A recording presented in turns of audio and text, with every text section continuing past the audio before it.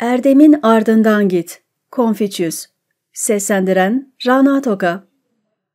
1. Bölüm Düşünmeden öğrenmek zaman kaybıdır. Üstad dedi ki, ülkesini erdemle yöneten bir kişi konumunu hep koruyan ve tüm yıldızları kendisine bağlı kılan kutup yıldızıyla karşılaştırılabilir. Üstad dedi ki, şiir kitabında 300 parça şiir var fakat tümünü bir cümleyle anlatabilirsiniz. Fesat düşüncelere sahip olma. Üstad dedi ki, eğer halk yasalarla yönetilir ve cezalarla yola getirmek istenirse, onlar kendilerini cezalardan kurtarmaya çalışacak ve bundan hiç utanç duymayacaktır. Eğer onlar erdemle yönetilir ve eğitimle yola getirilmek istenirse, utanç duyacaklar ve böylece iyi olmaya çalışacaklardır. Üstad dedi ki, kendimi 15 yaşında öğrenmeye verdim. İrademe 30 yaşında sahip olabildim. Kuşkulardan 40 yaşında kurtuldum. Göğün düzenini 50 yaşında öğrendim. Sezgilerim yoluyla her şeyi 60 yaşında kavradım. Kalbimin isteklerini doğru olan şeylere zarar vermeden 70 yaşında gerçekleştirebildim.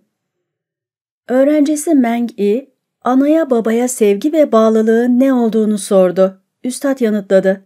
Onlara itaatsizlik etmemek demektir. Ailemiz yaşarken onlara terbiyenin gereklerine göre hizmet etmeliyiz. Öldükleri zaman tören kurallarına göre onları gömmeli ve kurbanlar sunmalıyız.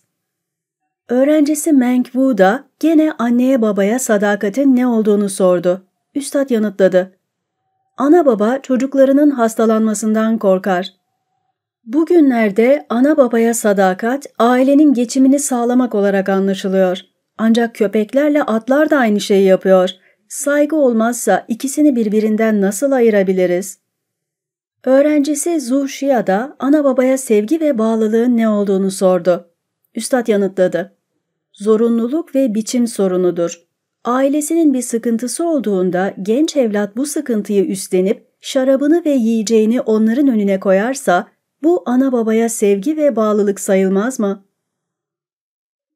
Üstad dedi ki, Hui ile bütün gün konuştum. Söylediklerimin hiçbirine karşı çıkmadı. Bir budala gibiydi. Benden ayrılıp evine gidince özel yaşamını gözledim.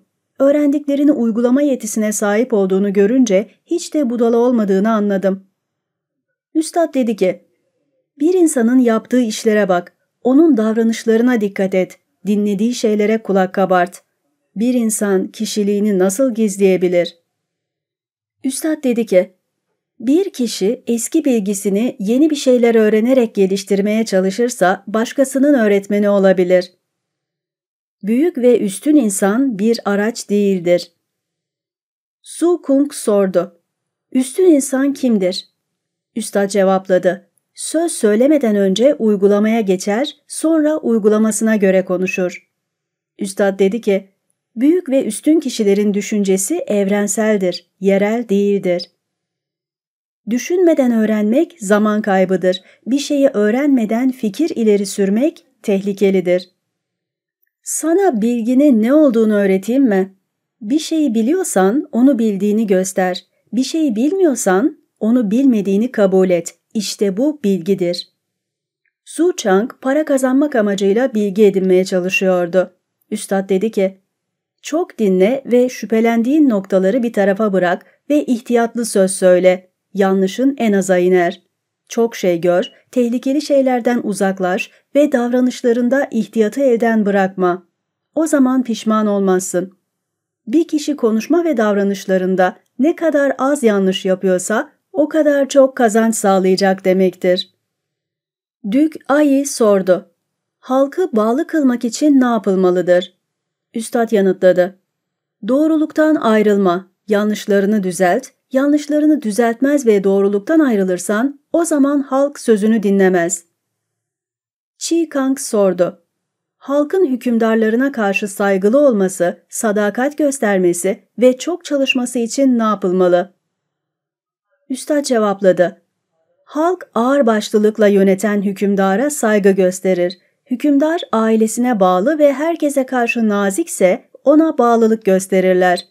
iyiyi yüreklendirir, bilmeyene elinden geldiği kadar öğretmeye çabalarsa halk çok çalışır.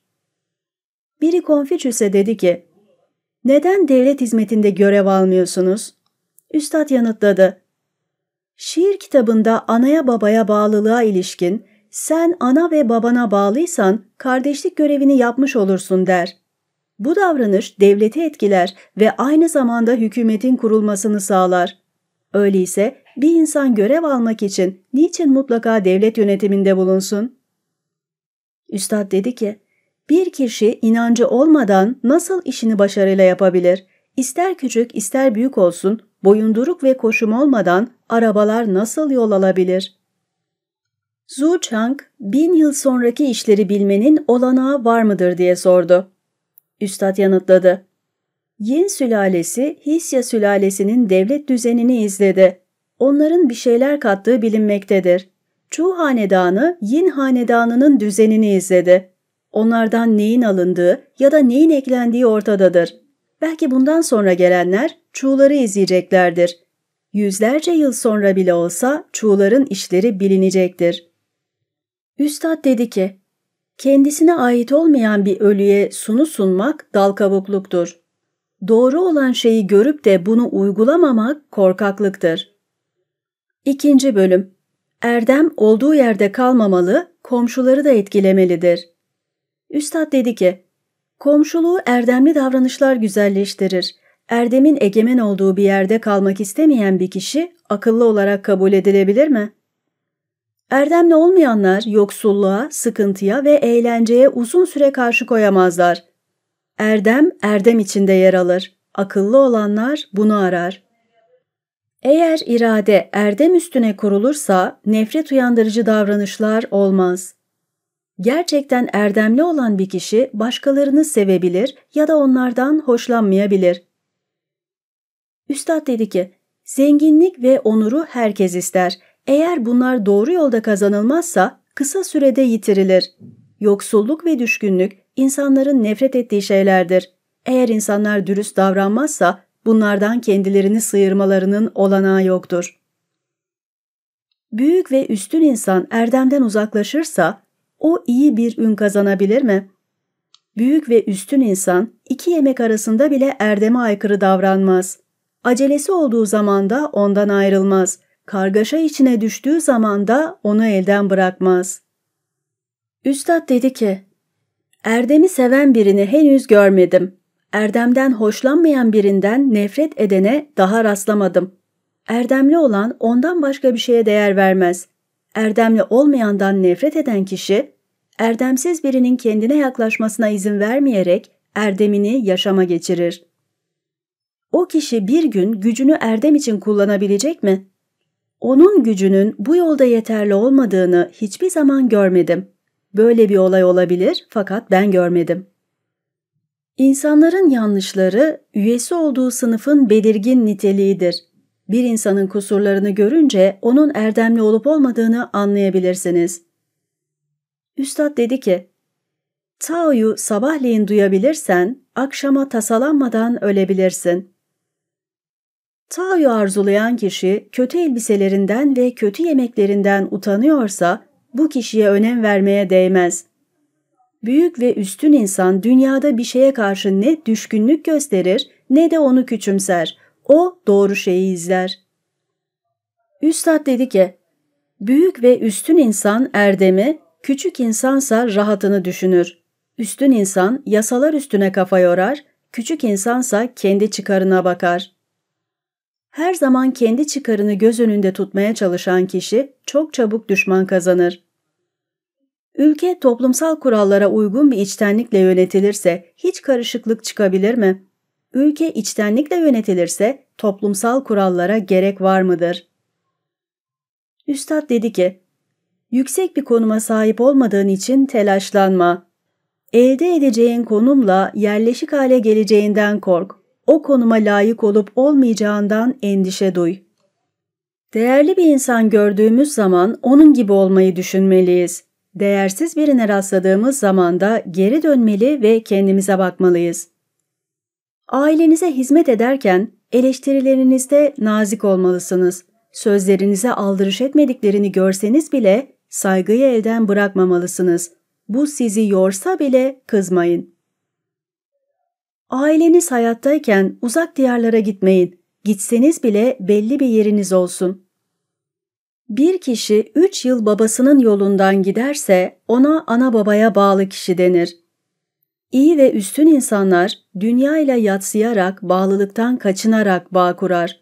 Bağlantı kurmamalarının yolu başkalarına adil davranmaktan geçer. Üstad dedi ki, Eski insanlar sözlerinde aşırılığa kaçmamışlardır. Çünkü yaptıkları işlerde başarıya erişemeyeceklerinden korkmuşlardır. Erdem olduğu yerde kalmamalı, komşuları da etkilemelidir. Erdemli insanlar yavaş konuşmalı, hızlı hareket etmelidir. İhtiyatlı davranan çok az kaybeder. Öğrencisi Su Yu dedi ki, Hükümdara hizmet ederken devamlı ona yanlışını söyleyen kişi gözden düşer. Arkadaşlar arasında kırıcı sözler kullanmak arkadaşlığın bozulmasına yol açar. 3. Bölüm Cezayı anlayışla ver, özenle uygula. Üstad dedi ki, Kun Ye Chang iyi bir eş olabilir. O her ne kadar hapiste ise de suçlu değildir. Bunun için kızımı onunla evlendirdim. Üstad dedi ki, Ülke iyi yönetildiği zaman Nan Yung devlet hizmetinde bir görev aldı. Ülke kötü yönetildiği zaman da suç ve utançlardan uzak kalmasını bildi. Böylece onu abinin kızıyla evlendirdi. Zhu Chen gerçekten üstün bir insandır. Eğer Lu'dan üstün insanlar olmasaydı o bu yüne kavuşabilir miydi? Su Kung sordu. Bana ne ad verebilirsiniz? Üstad yanıtladı. Sen bir kapsın. Nasıl bir kap? Kıymetli taşlardan yapılmış bir kurban kabı yanıtını verdi. Birisi dedi ki, Jung gerçekten dürüst bir insandır ama iyi bir konuşmacı değildir. Üstad dedi ki, güzel konuşmanın ne yararı vardır? Başkalarını güzel sözlerle oyalayan bir kişiden çoğunlukla hoşlanılmaz. Onun dürüst bir insan olduğunu biliyorum. Fakat niçin mutlaka iyi bir konuşmacı olsun ki? Üstad Sayı Wu'nun devlet hizmetinde yer almasını istiyordu. O dedi ki, ben henüz buna layık değilim. Bu söz üstadı çok memnun etti. Üstad dedi ki, benim ilkelerim uygulanmıyor. Bir sal alıp denize açılacağım. Bana arkadaşlık edecek kişi mutlaka Yu olacaktır. Sulu bunu duyunca sevindi. Bunun üstüne üstad dedi ki, Yu benden daha cesurdur. O bu gibi şeylerle ilgili hemen hüküm vermez. Meng Wu, Zulu'nun dürüst bir insan olup olmadığını sordu. Üstad bilmiyorum diye yanıtladı. Yeniden sordu. Bunun üstüne üstad dedi ki, bin savaş arabası olan bir ülkenin askeri işlerini yönetmek için belki o kullanılabilir. Fakat dürüst bir insan olup olmadığını bilmiyorum. Chiu için ne dersiniz? Üstad yanıtladı. Bin ailelik bir kentte ya da yüz arabalık bir klan içinde Chiyu başkan olabilir fakat dürüst bir insan olup olmadığını bilmiyorum. Çi için ne söylersiniz? Üstad yanıtladı.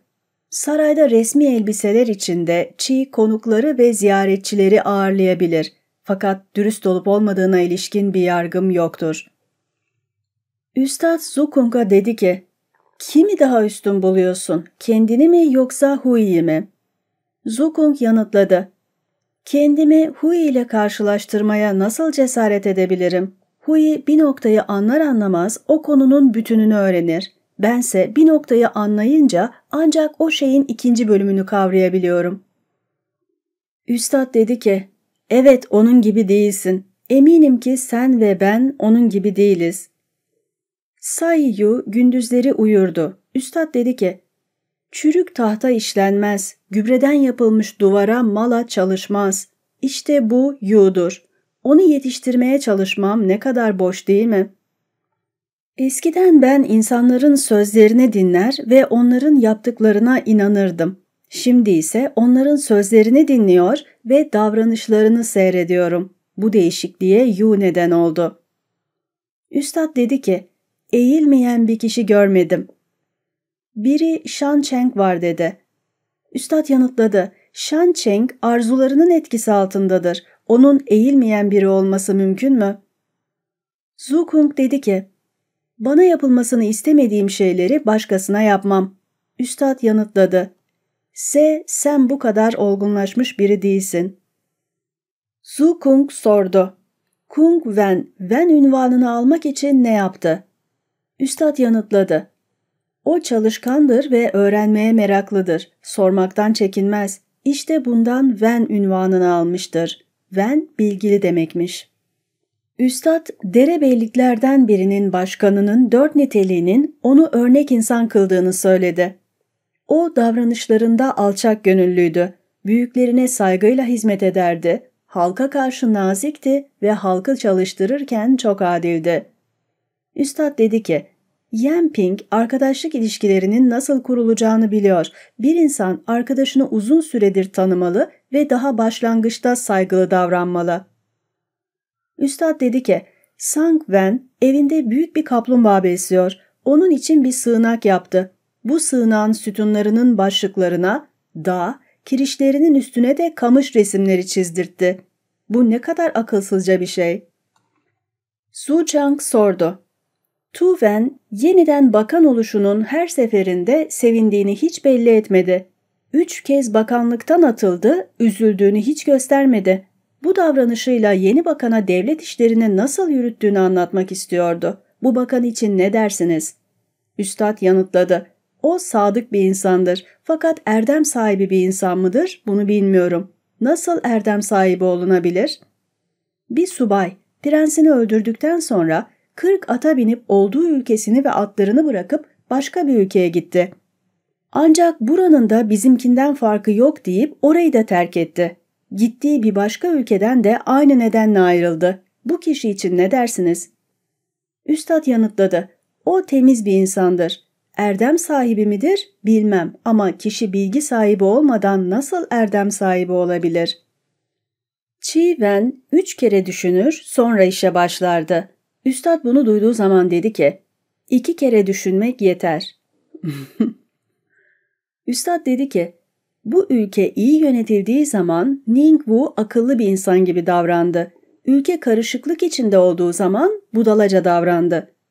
Ona akıllıca iş görmeyi başkaları öğretti. Fakat budalalık kendisine aittir. Üstad Çandere Beyliğindeyken dedi ki, bırakın beni geri döneyim. Okulumdaki çocuklar dikkatsiz ve düşüncesiz. Şimdiye kadar bilgi elde etmeye çalıştılar ama kendilerini nasıl yöneteceklerini öğrenemediler.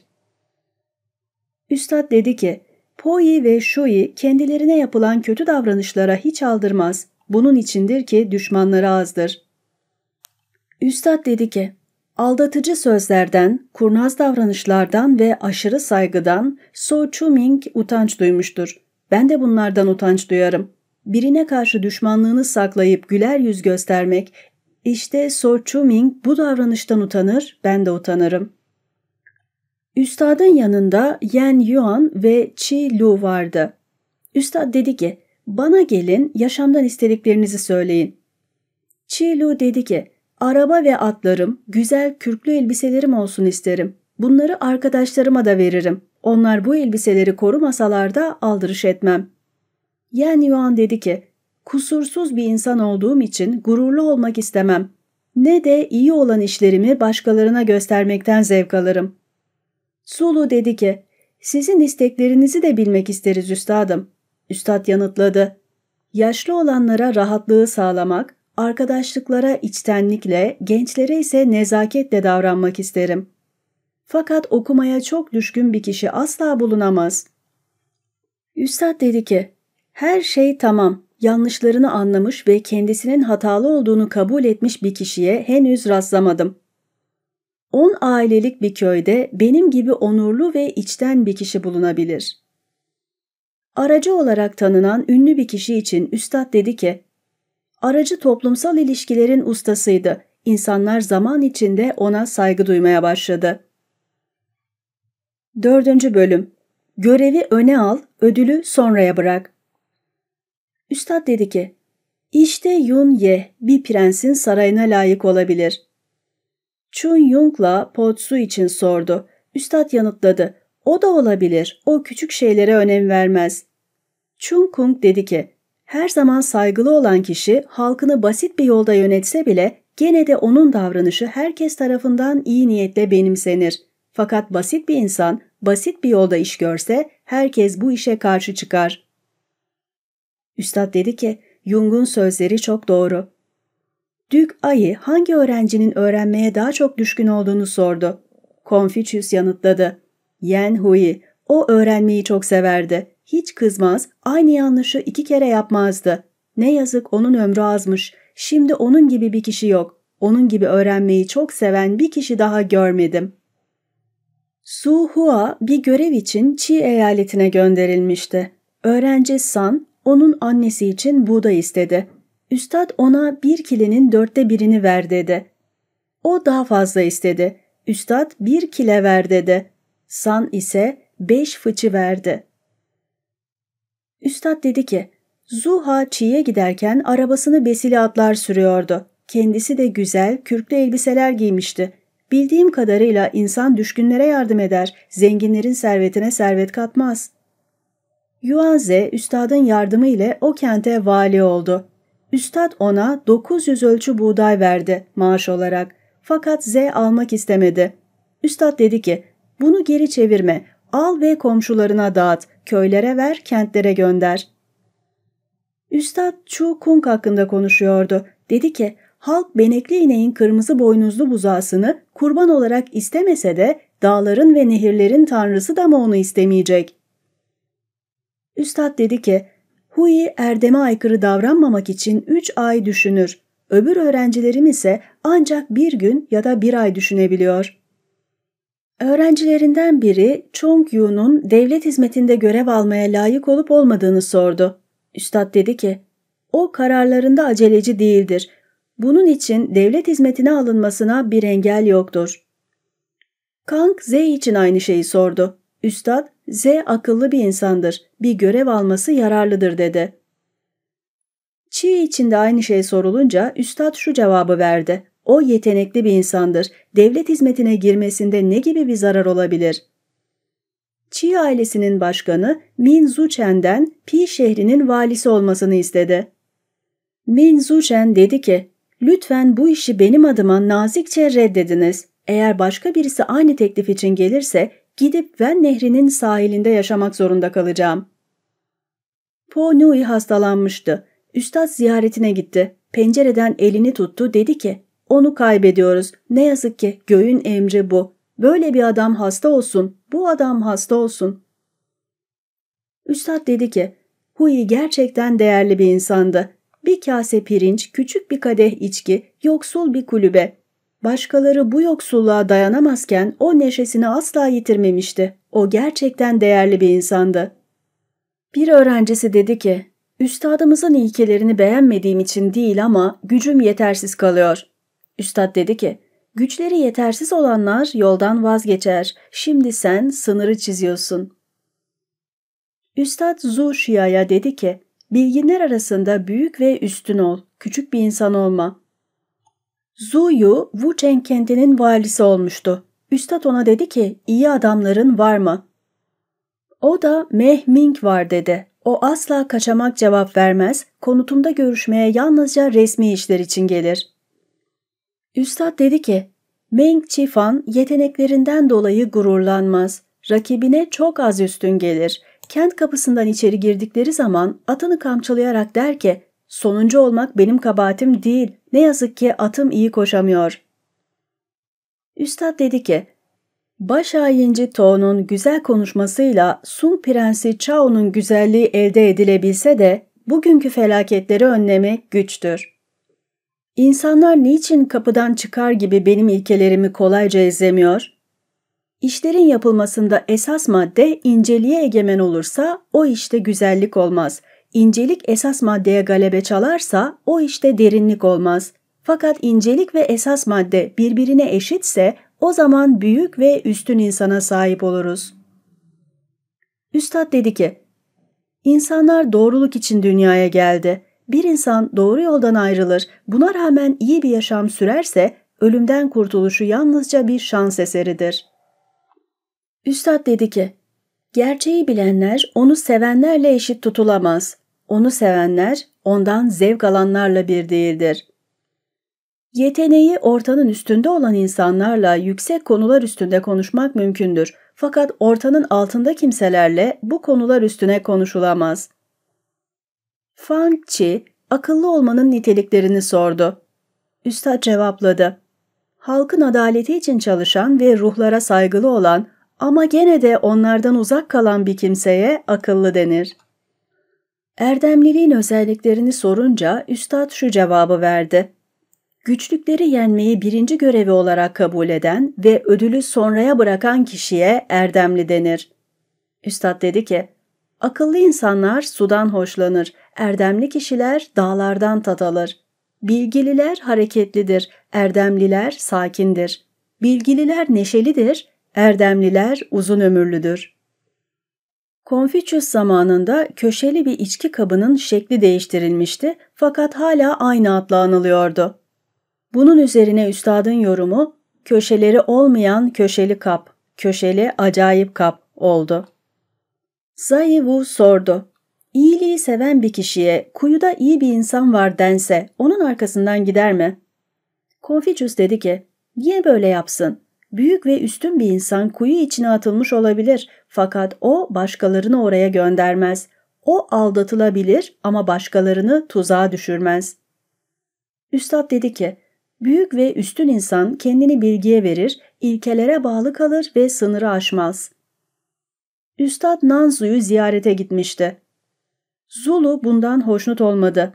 Üstad yemin ederek dedi ki, bir daha yanlış bir şey yaparsam gök beni terk etsin. Gök beni terk etsin. Üstad dedi ki, dengeli yaşamanın erdemi hep en yukarıdadır. Ancak öylesine uzun süredir insanlarda o kadar az görünüyor ki. Zukung dedi ki, halka armağanlar dağıtan ve onlara yardım eden bir kişi için ne dersiniz? Ona iyilik sever denebilir mi? Üstad yanıt verdi. Niçin iyilik sözcüğünü onun için kullanıyorsunuz? O kutsal insanlarla aynı özelliklere sahip değil midir? Hatta bilge krallar Yao ve Sun bile bunu yapmada zorlanmıştır. Şimdi iyiliksever kişi kendisini yetiştirirken başkalarını da yetiştirmek ister. Kendi bilgisini genişletirken başkalarının bilgisini de genişletmeye çalışır.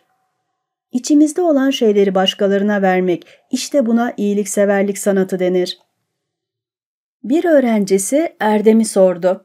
Üstad dedi ki, Yurdundan yuvandan uzakta olduğun zaman hatırlı bir konuğu ağırlıyormuş gibi davran. Hoşlanmadığın bir şeyi başkalarına aktarma. Ülkende ve evinde düşmanlığı barındırma. Üstad dedi ki, bir kişinin yararlı yetenekleri kültüründen çoksa o köylüdür. Eğer kültürü yararlı yeteneklerinden çoksa okumuştur. Ancak hem yararlı yeteneğe hem de kültüre sahip olduğunda örnek bir kişi olmuştur. 5. Bölüm Oruç, savaş ve hastalıklara karşı ihtiyatlı ol. Üstad dedi ki, ben yaratıcı olmaktan çok aktarıcıyım. Eskiyi sever ve ona inanırım. Bunun için ihtiyar Punk'la kendimi eşit tutmaya cesaret edebilirim. Sessizce bilgi edinmek ve yorulmaksızın çalışmak, usanç duymadan öğrenmek benim için sorun değildir. Erdemi iyi işlememek, öğrenilen şey üstünde yeterince durmamak, doğruluğa karşı ilgisiz kalmak, kötü olan şeyleri de duymaya yeterli olmamak, işte bunlar beni üzen şeylerdir. Üstad çok meşgul olduğu zamanlarda rahat ve neşelidir. Üstad dedi ki, aşırıya kaçmak benim için yok olmak demektir. Uzun zamandır rüya görmemiştim. Yalnızca Dük Çu'yu gördüm. Üstad dedi ki, iradeni gerçek ilkeler için kullan.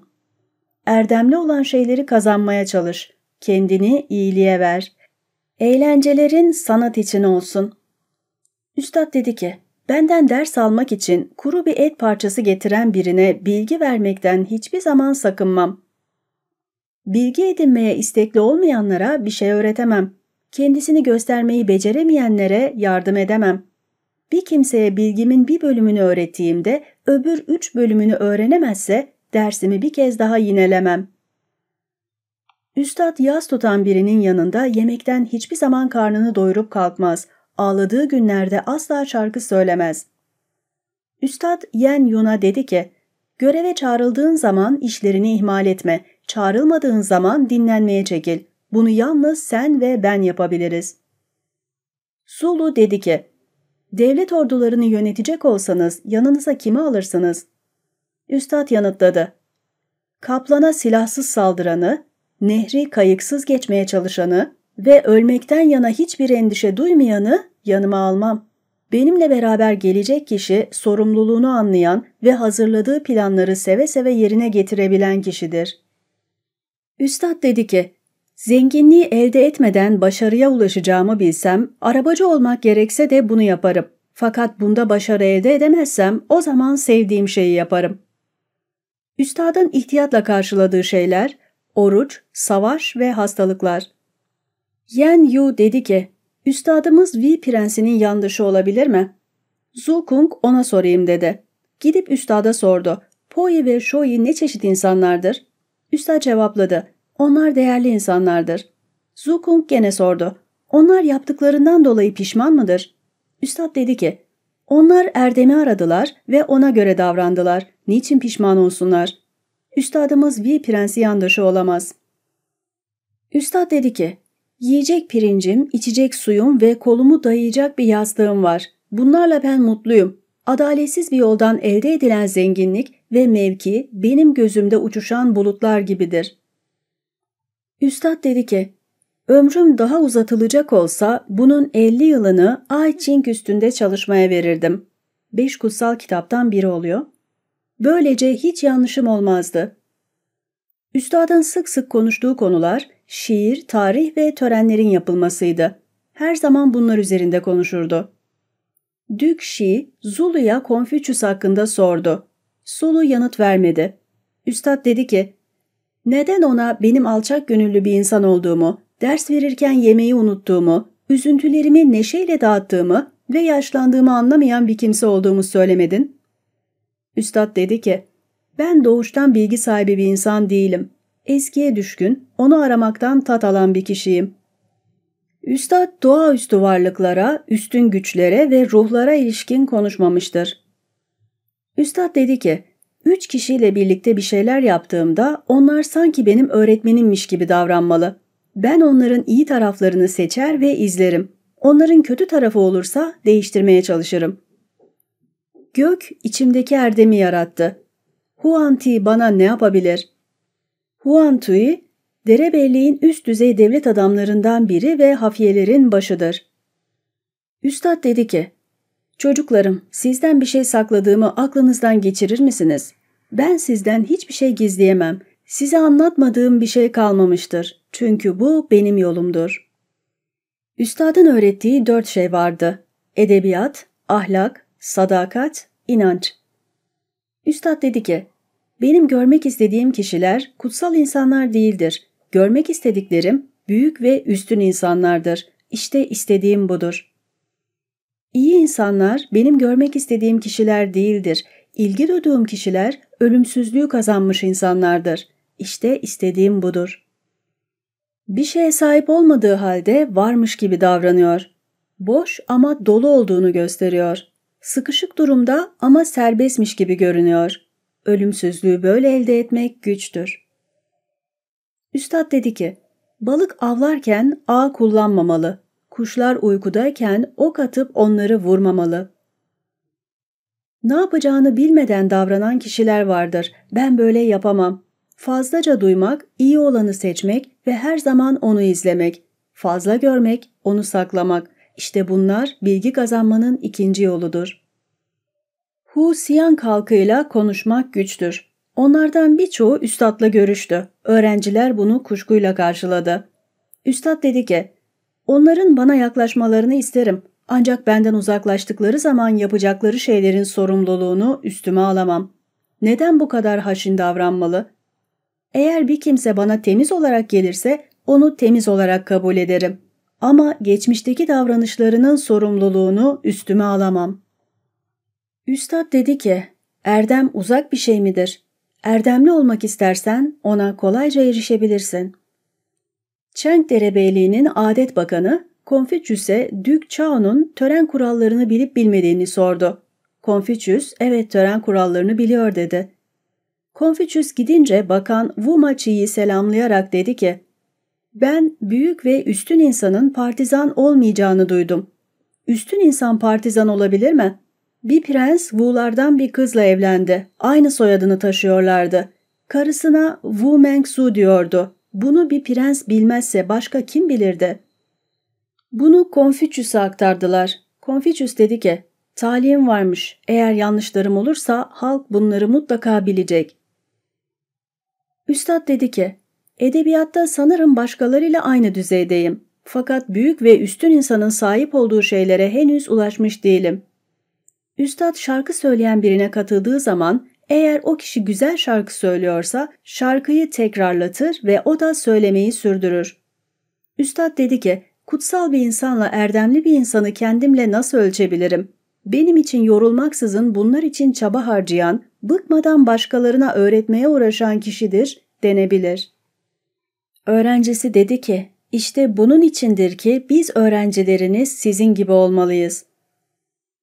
Üstad çok hastaydı. Zulu ondan dua etmesini rica etti. Üstad dedi ki, böyle bir şeyi yapabilir miyim? Zulu yanıtladı, yapabilirsiniz. Ölülere övgü bölümünde denmiştir ki, aşağı ve yukarı dünyadaki ruhlar için dua edilmiştir. Üstad dedi ki, benim duamsa çok önceden yapılmıştır. Fazla taşkınlık itaatsizlik yaratır. Cimrilik de bayağılığı doğurur. Fakat bayağı olmak itaatsiz olmaktan daha iyidir. Üstad dedi ki, büyük ve üstün insan her zaman memnun ve rahattır. Küçük insansa her zaman üzüntü ve telaş içindedir. Üstadımız nazik ama titiz, inatçı ama yumuşak başlıdır. Yücedir ama ürkünç değildir. O saygılı ve çok ölçülüdür. 6. Bölüm Yaşamı bütünüyle kullan, erdemin ardından git. Üstad dedi ki, Taipo erdemin en üst derecesine yükselmiştir denebilir. Üç kere tahtı reddetti ve bunu o kadar sessizce yaptı ki halkın bundan haberi olmadı ve bu davranışından ötürü onu övmedi. Üstad dedi ki, Görgü kuralları bilinmeden saygı sıkıcı bir davranış olur.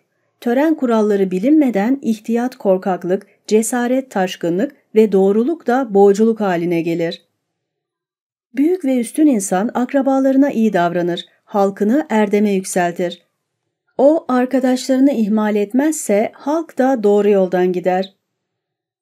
Filozof Zhang hastaydı. Öğrencilerini çağırttı. Dedi ki, ellerimi ayaklarımı açınız. Şiir kitabında denmiştir ki sanki derin bir uçurumun kenarında ya da ince buz üstündeymişiz gibi sezgili ve ihtiyatlı olmalıyız. İşte ben de böyleyim. Bundan sonra bana zarar verecek şeylerden nasıl kaçacağımı bilirim. Ah benim küçük çocuklarım. Filozof Sang hastaydı. Öğrencilerinden biri onun ziyaretine gitti. Nasıl olduğunu sordu. Zang ona dedi ki, bir kuş ölmek üzereyken sesi hüzün vericidir. Bir insanın ölürken sözleri güzeldir. Büyük ve üstün insan üç şeye önem verir. Dikkatsiz ve düşüncesiz davranışlardan sakınma, yüz ifadesinde içten olma, kaba ve adi sözlerden uzak durma. Kurban törenlerini düzenleme sorununa gelince bunlar için özel adamlar vardır. Filozof Zhang dedi ki, yetenekli olanlar yetenekli olmayanlara soru sorabilir. Çok şeye sahip olanlar hiçbir şey olmayanlara soru sorabilir. Bir şeye sahip olan kimse hiçbir şey yokmuş gibi davranır. Dolu bir şişeyi boş olarak kabul eder, hatalı olduğu zaman mücadeleye girişmez. Eskiden böyle davranan bir arkadaşım vardı. Filozof Zhang dedi ki, öyle bir kişi vardır ki yetim bir prensi himayesine alır ve yüzleylik bir devleti yönetir. Eriştiği yüksek rütbeyi zorla elde etmek istemez. Böyle bir kişi büyük ve üstün insan değil midir? Evet o büyük ve üstündür. Filozof Zhang dedi ki, bir bilgin anlayışlı ve sabırlı olmalıdır. Çünkü onun hem yükü hem de yolu ağırdır. İyilikseverliği kendi yükü olarak kabul eder. O ağır değil midir? Bu yük yalnız ölümle sona erebilir. Uzun bir zaman, değil mi? Üstad dedi ki, şiirle zeka gelişir. İnsanın kişiliği eğitim ve toplum kurallarıyla oluşur ve müzik bu kişiliği kusursuzlaştırır. Halk bir sistemi kabule zorlanabilir ama onu anlamaya kendini asla zorlamaz. Üstad dedi ki, cesur olup da yoksulluktan nefret eden bir kişi karışıklık çıkartabilir. İyiliksever olmadığı için insanları sevmeyen biri düzensizliğe yol açabilir. Karşılığını beklemeden 3 yıl çalışan bir insan bulmak güçtür. Bir kişi çoğu dükü gibi yetenekli ve iyi bir insan olup da kibirli ve cimri ise onun öbür yeteneklerine göz atmaya bile değmez. Üstad dedi ki, içtenlik ve sadakatle öğrenmeye çalış. Ölümle karşılaşsan da doğru yoldan ayrılma. Bir ülke iyi yönetiliyorsa yoksulluk ve düşkünlüğün varlığı utanç vericidir. Bir ülke kötü yönetiliyorsa zenginlik ve onur gibi şeylerin varlığından utanç duyulmalıdır. O tehlikeli ülkelere gitmez, karışıklık içinde olan yerlerde bulunmaz. Gerçek ilkeler o ülkede egemen olduğu zaman kendini gösterir. Bu ilkeler orada yoksa o kendini gizler. Üstad dedi ki, bir kişinin belli bir mevkiye gelmeden ülke yönetimi için plan yapmasına gerek yoktur. Üstad dedi ki, gayretli ama dürüst olmayan, doğru sözlü ama güvenilir olmayan, saf değil ama içten olmayan insanlarla hiçbir işim olmaz. Hedefine erişemeyecekmiş gibi öğrenmeye çalış. Sanki onu kaybedecekmiş gibi korku içinde ol. Üstad dedi ki, Shun ve Yu ülkeyi ne kadar kusursuz yönetmişlerdir. Sanki bu onlar için önemli bir şey değilmiş gibi. Yao bir hükümdar olarak gerçekten çok büyük bir insandı. O ne kadar kusursuzdu. Onun erdemi ne kadar büyüktü. Halk öylesine özgürdü ki özgürlüğüne ad veremiyordu. Onun başardığı işler ne kadar büyük, kurduğu düzen ne kadar parlaktır. 7. Bölüm İleri gitmekle her şeye erişmemek aynı şeydir. Üstad dedi ki, eski çağlardaki insanlar törenler ve müzik konusunda çok bilgisizdi. Oysa daha sonraki çağlarda yaşayan insanlar tören ve müzik konusunda bilgiye sahipti. Eğer o şeyleri kullanma fırsatım olsaydı eski çağlardaki insanları izlerdim. Üstad dedi ki, Min Tu gerçekten ana ve babasına bağlı bir insan. Başkaları onun hakkında ana babasının ve kardeşlerinin söylediklerinden başka bir şey söyleyemez. Nan Yung günde üç kere Beyaz Krallık asasından söz ederdi. Confucius onu abinin kızıyla evlendirdi. Chi Kang, üstada hangi öğrencilerinin öğrenmeyi daha çok sevdiğini sordu. Confucius, Yan Hui dedi. Onun öğrenmeye karşı büyük bir isteği vardı fakat ne yazık onun ömrü kısa oldu. Öldü. Şimdi onun gibi öğrenmeye istekli öğrencim yok. Yan Yuan öldüğü zaman Yan Lu, üstadın arabasını satıp parasıyla tabutunu almasını rica etti. Üstad dedi ki, yetenekli olsun olmasın herkes oğlu hakkında söz söyler. Li öldüğü zaman tabutu vardı ama örtüsü yoktu. Ona bir örtü alamadım. Çünkü büyük memurların arkasında giderken yaya gezemezdim. Yen Yuan öldüğü zaman üstad dedi ki, ah gök beni mahvediyor, gök beni mahvediyor. Yen Yuan öldüğü zaman üstad acı acı ağladı. Yanındaki öğrencileri, üstadım gerçekten kederimiz çok büyük dedi. O çok büyük bir kişi mi dedi. Eğer bu kişi için acı duymazsam kimin için acı duyacağım? Yen Yuan öldüğü zaman öğrenciler büyük bir cenaze töreni düzenlemek istedi. Üstad dedi ki bunu yapmamalısınız. Öğrenciler onu büyük bir törenle gömdü. Üstad dedi ki Hui bana onun babasıymışım gibi saygı gösterdi. Fakat ben ona oğlummuş gibi davranmadım. Kusur benim değildi. Bu sizindir öğrencilerim. Chi Lu ölülerin ruhlarına nasıl hizmet edileceğini sordu. Üstad dedi ki, insanlara hizmet edemezken ölülerin ruhlarına nasıl hizmette bulunabiliriz? Chi Lu, ölüm hakkında sorma cesaretinde bulunabilir miyim diye ekledi. Üstad cevapladı. Yaşama ilişkin bir bilginiz yokken ölümü nasıl bilebilirsiniz? Öğrencisi Min, üstadın yanında duruyordu. Sakin görünüyordu. Sulu, ciddi ve haşin, San Yu ile Tu Zung ise ilgisiz ve dimdik duruyordu. Üstad da çok memnundu. Dedi ki, Yu sen bu kadar erken ölmeyecektin. Lu'daki memurlar köşkü yıkıp yeniden yapacaktı. Min Zuchen dedi ki, eski biçimde yapılacaksa niçin yıkılıp yeniden inşa ediliyor? Üstad dedi ki, bu adam az konuşur ve konuşmasında gerçekten bir yerindelik vardır. Benim kapımda Yuan'ın sazının ne işi var? Öbür öğrenciler artık Zulu'ya saygı göstermiyordu. Üstad dedi ki, Yu henüz iç salona girmediyse de büyük salona girebilmiştir. Öğrencisi Şıh'ın mı yoksa Şang'ın mı daha üstün olduğunu sordu. Üstad dedi ki, Şıh her şeyde çok ileride, Şangsa hiçbir şeye erişememiştir. Öğrencisi o halde Şıh daha üstün demektir dedi. Üstad, ileri gitmekle her şeye erişmemek aynıdır cevabını verdi. Çi aile reisi çoğu dükünden daha zengindir. Bununla birlikte çoğunun vergilerini toplayarak gelirini daha da çoğalttı. Üstad dedi ki, o benim öğrencim değil, benim küçük çocuklarım davul çalıp onu uyardı. Çay basit bir insandır. Şan sıkıcıdır. Şıh ikiyüzlüdür. Yu kabadır. Üstad dedi ki, işte Hui, en yetkin erdemi hemen hemen kazanmış durumda ama çoğunlukla yoksulluk içindedir. Su Chang iyi bir insanın özelliklerinin ne olduğunu sordu. Üstad dedi ki, başkalarının ayak izlerine basmaz ve kutsal insanların bulunduğu yere girmez. Bir insan konuşmalarında içten ve ciddi ise o üstün insan olabilir mi ya da onun ciddiyeti yalnız görünüşünde midir? Zulu duyduğu şeyleri hemen yerine getirip getiremeyeceğini sordu.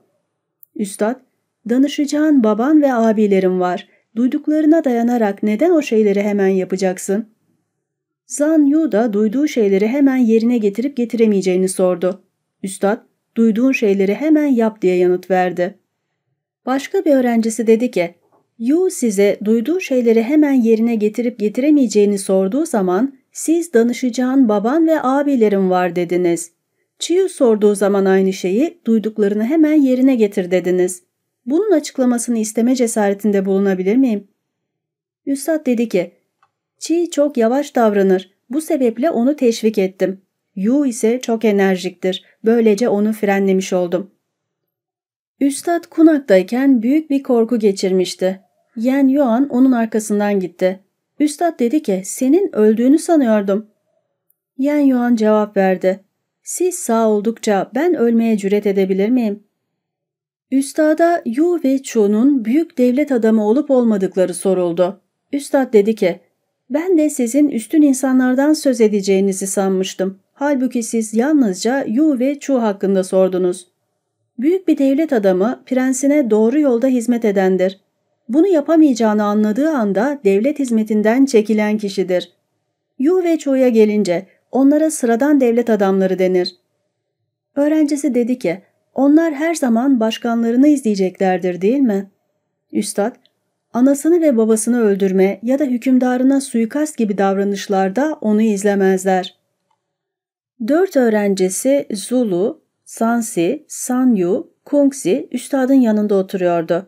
Üstad onlara dedi ki, ben sizden daha yaşlıysam da bunu hiç düşünmeyin. Her gün bizi kimse tanımıyor deyip duruyorsunuz. Eğer bir hükümdar sizi tanıyacak olursa o zaman ne yapacaksınız? Sulu telaşla yanıtladı. 10 bin savaş arabası olan bir ülke bir başka devlet tarafından kuşatılıp halkı yiyecek sıkıntısına düştüğünde ülkenin yönetimi bana verilirse 3 yıl içinde halkın cesaretini artırırım ve doğru ilkeleri anlamalarına yardım ederim. Üstad gülümsedi. Yen Yu'ya dönerek dedi ki, sizin istekleriniz nedir? O yanıtladı. 60-70 lilik bir ülkenin başında olsam 3 yıl içinde halk için çok şey yapardım. Tören kuralları ve müziğin öğretimi sorunundaysa bunu yapacak üstün insanın ortaya çıkmasını beklerdim. Senin isteğin nedir Çi diye döndü. Ona sordu. Çi şu yanıtı verdi. Bu gibi şeyler için yeteneğim olduğunu söyleyemem fakat bunları öğrenmek isterim. Atalar Tapınağı'nda hükümdarın yanında koyu ve dört köşeli elbiseler içinde ve siyah keten şapkayla bir yardımcı olarak bulunmak isterim. En son olarak Tangxi'ye sordu. Senin isteğin nedir? O gitar çalıyordu. Durdu, çalgısını bir kenara bıraktı, ayağa kalkarak dedi ki, benim isteklerim bu üç arkadaşın isteğinden amaç bakımından farklıdır. Onların isteklerinde ne gibi bir olumsuzluk görüyorsun diye sordu üstad. Sen de söyle istediklerini. O dedi ki, İlkbaharın son ayında mevsime uygun elbise ve şapkalarını giymiş 5-6 genç adam ya da 6-7 çocukla İyi Nehri'nde yıkanmak ve sonra yağmur sunağından esen rüzgarla serinlemek ve şarkı söyleyerek eve dönmek isterdim. Üstad içini çekerek ben de seninle aynı düşüncedeyim dedi. Öbür üç öğrenci gitmişti. Tanksi geride kalarak dedi ki, bu üç arkadaşın sözlerine ne dersiniz? Üstad, her biri kendi isteklerini bildirdi.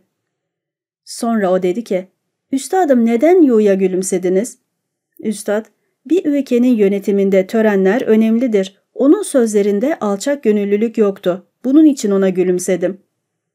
Yeniden sordu. Fakat bu Chu'nun istediği bir ülke değil midir? Üstad, sen hiç 60-70 lilik toprağı olan bir devlet gördün mü dedi. O yine sordu. Fakat bu Çin'in istediği bir devlet değil midir? Üstad yanıtladı. Evet yalnızca prensler atalar tapınağıyla, hükümdarlarsa kendi adamlarıyla meşgul olur. Eğer Çi burada yardımcı olarak bulunacak olursa o zaman büyük adam kim olacak? 8. Bölüm Önce gerekeni yap, başarıyı sonra düşün. Yen Yuan üstün erdem hakkında sordu. Üstad dedi ki, bir kişinin kendi nefsine egemen olup toplum kurallarına bağlı kalması onun erdemliliğidir. Sence erdem kişinin kendinden mi başkalarından mı gelir? Yen Yuan dedi ki, buna sahip olmanın esaslarını sorabilir miyim? Üstad, toplum kurallarına uygun olmayan şeyleri yapma, konuşma ve onlara önem verme. Yen Yuan dedi ki, her ne kadar fazla zeki değilsem de bunlar üstünde çalışacağım. Chung Kung, üstün erdeme ilişkin sordu. Üstad cevapladı. Ülke dışına çıktığın zaman herkese sanki büyük bir misafiri karşılıyormuş gibi davran. Sanki bir kurban töreninde görevliymişsin gibi halkına hizmet et. Kendine yapılmasını istemediğin şeyleri başkasına yapma. Gerek memleketinde, gerekse ailende senden şikayet edilmesine neden olma. Chung Kung dedi ki, o kadar yetenekli değilsem de bunlar üstünde çalışmayı ödev bileceğim. Başka bir öğrencisi üstün erdem hakkında sordu. Üstad dedi ki, üstün erdem sahibi insan konuşmalarında ihtiyatlı ve yavaştır. Niu konuşmalarında ihtiyatlı ve yavaş olan kimse üstün erdemli kişi midir diye sordu. Üstad dedi ki, bir şey yapmakta zorluk çeken insan konuşmalarında ihtiyatlı ve yavaş değil midir? Üstün insanın ne endişesi ne de korkusu vardır. Kaygısının ve korkusunun olmaması bir insanı üstün insan yapar mı diye sordu öğrencisi heyecanla. Üstad dedi ki, eğer bir insan vicdanen yanlış bir şey yapmadığından eminse neden kaygılansın, neden korku duysun? Bir öğrencisi, herkesin erkek kardeşleri var, yalnız benim yok dedi. Ona dediler ki, şunu duydum, ölüm ve hayat göğün emridir. Zenginlik ve şerefse kaderin işi. Üstün insan her zaman saygı görür ve başarısızlığa uğramazsa öbürlerine karşı saygılı olur. Törenlere bağlı kalırsa bütün dünyada herkes onun kardeşi olur. Üstün insan kardeşleri olmadığı için niçin üzüntü duysun? Su Cheng akıllı bir insanın nasıl olması gerektiğini sordu. Üstad dedi ki, Kafanda yer eden iftiralar ve insanı tedirgin eden iğnelemelerden kendini uzak tutabiliyor ve onlardan etkilenmiyorsan akıllı ve uzak görüşlüsündür. Su Kung hükümete ilişkin sordu. Üstad dedi ki, bir hükümet için gerekli olan şeyler yeterince gıda, askeri malzeme ve halkın hükümdarına güvenidir. Zhu Kung dedi ki, Bunlardan birinden kaçınılmaz olarak vazgeçmek gerekse hangisi gözden çıkartılır? Üstad, askeri malzeme dedi. Su Kung yeniden sordu. Geride kalan bu ikisinden birinden de vazgeçmek gerekse hangisi önce gelir? Üstad cevapladı. Yiyecekten vazgeçilebilir. Eskiden beri insanlar ölmeye mahkumdur. Fakat halkın hükümdarına güveni yoksa o devlet ayakta duramaz.'' Devlet memurlarından biri dedi ki, üstün insanda yalnızca değerli şeyler aranır. Neden süsleyici şeyleri arayalım? Ona dediler ki, ah dostum sizin sözleriniz üstün insan olduğunuzu gösteriyor. Süs bir cevherdir. Cevher de bir süs gibidir. Kaplanın ve sırtlanın postu, keçi ya da köpeğin derisi gibidir. Dük Ayı dedi ki, kıtlık yılındayız, tüketim de çok fazla, ne yapmamız gerekir? Ona cevap verildi. Neden halktan aldığınız vergileri artırmıyorsunuz? Dük dedi ki, çok tahıl verenlere bunu uygulamıyorum da az verenlere bunu nasıl uygularım? Yanıt verildi. Eğer halk refah içindeyse prenslerine fazlasıyla verecektir. Eğer yokluk içindeyse prensleri halka verilen fazlalıktan hoşlanmayacaktır. Bir öğrencisi erdemimizi nasıl geliştirebileceğimizle kötülükleri nasıl anlayabileceğimizi sordu. Üstad dedi ki, Doğruya sadakati ve bağlılığı birinci ilke olarak ele al, doğruluktan ayrılma. İşte bu erdemi yüceltmektir. Sevdiğiniz insanın yaşamasını, nefret ettiğiniz insanın ölmesini istersiniz. İşte bu kötülük durumudur. Çiğ Dükü Konfüçyüs'e hükümete ilişkin sordu. Konfüçyüs yanıtladı. Bir ülkede prens prens olsun, yönetici yönetici olsun, baba baba gibi, oğul oğul gibi davransın. Orada bir hükümet vardır. Dük çok güzel dedi. Eğer gerçekten prens prens gibi, baba baba gibi, oğul da oğul gibi davranmazsa, yıllık gelirim ne kadar çok olursa olsun ben nasıl mutlu olabilirim? Üstad dedi ki, Yu önemsiz bir söz için dava açar. Zulu mutlaka sözünde durur. Üstad dedi ki, davaları duyunca ben de öbürleri gibi oluyorum. Hiç dava olmamasını yeğlerdim. Bir öğrencisi hükümet hakkında sordu. Üstad dedi ki, hükümeti yönetme sanatı yorulmaksızın bu konu üstünde düşünmek ve onları yanılmadan uygulamaktır. Kültürü iyice inceleyip tören kurallarına bağlı kalan bir insan doğrudan sapmaz. Üstün insan başkalarının iyi taraflarını geliştirmeleri için besler, kötü taraflarının gelişmesini istemez. Küçük bir insansa bunun tam tersini yapar. Konfüçyüs'e yine hükümet hakkında soruldu. Konfüçyüs yanıtladı. Memleketi yönetmek demek, halkı doğru yola götürmek demektir. Eğer halkı doğrulukla yönetirsen, doğru davranmamaya kim cesaret edebilir? Hırsızlarla başı dertte olan Chi Kang ne yapılması gerektiğini Konfüçyüs'e sordu. Üstad dedi ki, eğer siz cimri olmasaydınız onlara ödül verseniz de çalmazlardı. Chi Kang gene Konfüçyüs'e hükümet hakkında sordu. Dedi ki, iyi ilkeler için ilkelere bağlı olmayanları öldürme konusunda ne dersiniz? Konfüçyüs yanıtladı. Hükümeti yönetirken neden öldürmekten söz ediyorsunuz? İyi olan şeyler için isteklerde bulunursanız halk da iyi olur. Büyüklerle küçükler arasındaki ilişki rüzgarla otlar arasındaki ilişkiye benzer. Rüzgar esince otlar eğilir. Zhu Cheng sordu. Üstün bir bilgin olarak tanınan bir kişinin nasıl olması gerekir? Üstad dedi ki, üstünlükten ne anlıyorsunuz? Zhu Cheng yanıtladı. Tüm ülkede ve kendi kabilesinde tanınmış bir kimse. Üstad dedi ki, bu ünlülüktür, üstünlük değil. Üstün insan sağlam karakterli, dürüst ve doğruluğu seven kişidir. O insanların sözlerini ölçer, kişiliğini inceler ve başkalarına karşı alçak gönüllü olmaya çalışır. Böyle bir adam ülkesi ve kabilesi içinde tanınır. Ünlü insana gelince görünüşte erdemlidir fakat bunun tersini yapar ve kendinden hiç kuşkulanmaz. Böyle bir insan da ülke ve kabile içinde bilinir. Fanchi, üstadla birlikte yağmur sunağının bulunduğu yerde ağaçlar altında geziniyordu. Dedi ki, Erdemi nasıl yüceltebileceğimizi, kötü davranışları nasıl düzeltebileceğimizi, yanlışları nasıl anlayabileceğimizi sorma cesaretinde bulunabilir miyim? Üstad, gerçekten güzel bir soru. Önce gerekeni yap, başarıyı sonra düşün. Bu erdemi yüceltme yolu değil midir? Kendisinin zayıf taraflarını anlatmak ama başkalarının kötülüklerini söylememek. İşte bu kötülüğü düzeltmek değil midir? Ufak bir öfkeyle kendini tutamayıp yakınlarına zarar verip onların başını derde sokma. Bu yanlış değil de nedir? Fanchi iyilikseverlik hakkında sordu. Üstad dedi ki, bütün insanları sevmektir. Bilgi hakkında sordu. İnsanları tanımaktır dedi. Fanchi bunları anlamadı. Üstad dedi ki, dürüst insanlara değer ver, onları el üstünde tut ve dürüst olmayanları bir kenara bırak. Böylece dürüst olmayanların dürüst olmalarını sağlayabilirsin. Fanchi üstadın yanından ayrıldı. Zhu Sia'yı görünce dedi ki, Biraz önce üstadla beraberdim. Ona bilgi hakkında sordum. Bana dedi ki dürüst insanları hizmetine al. Dürüst olmayanları bir kenara bırak. Böylece onları dürüst hale getirebilirsin.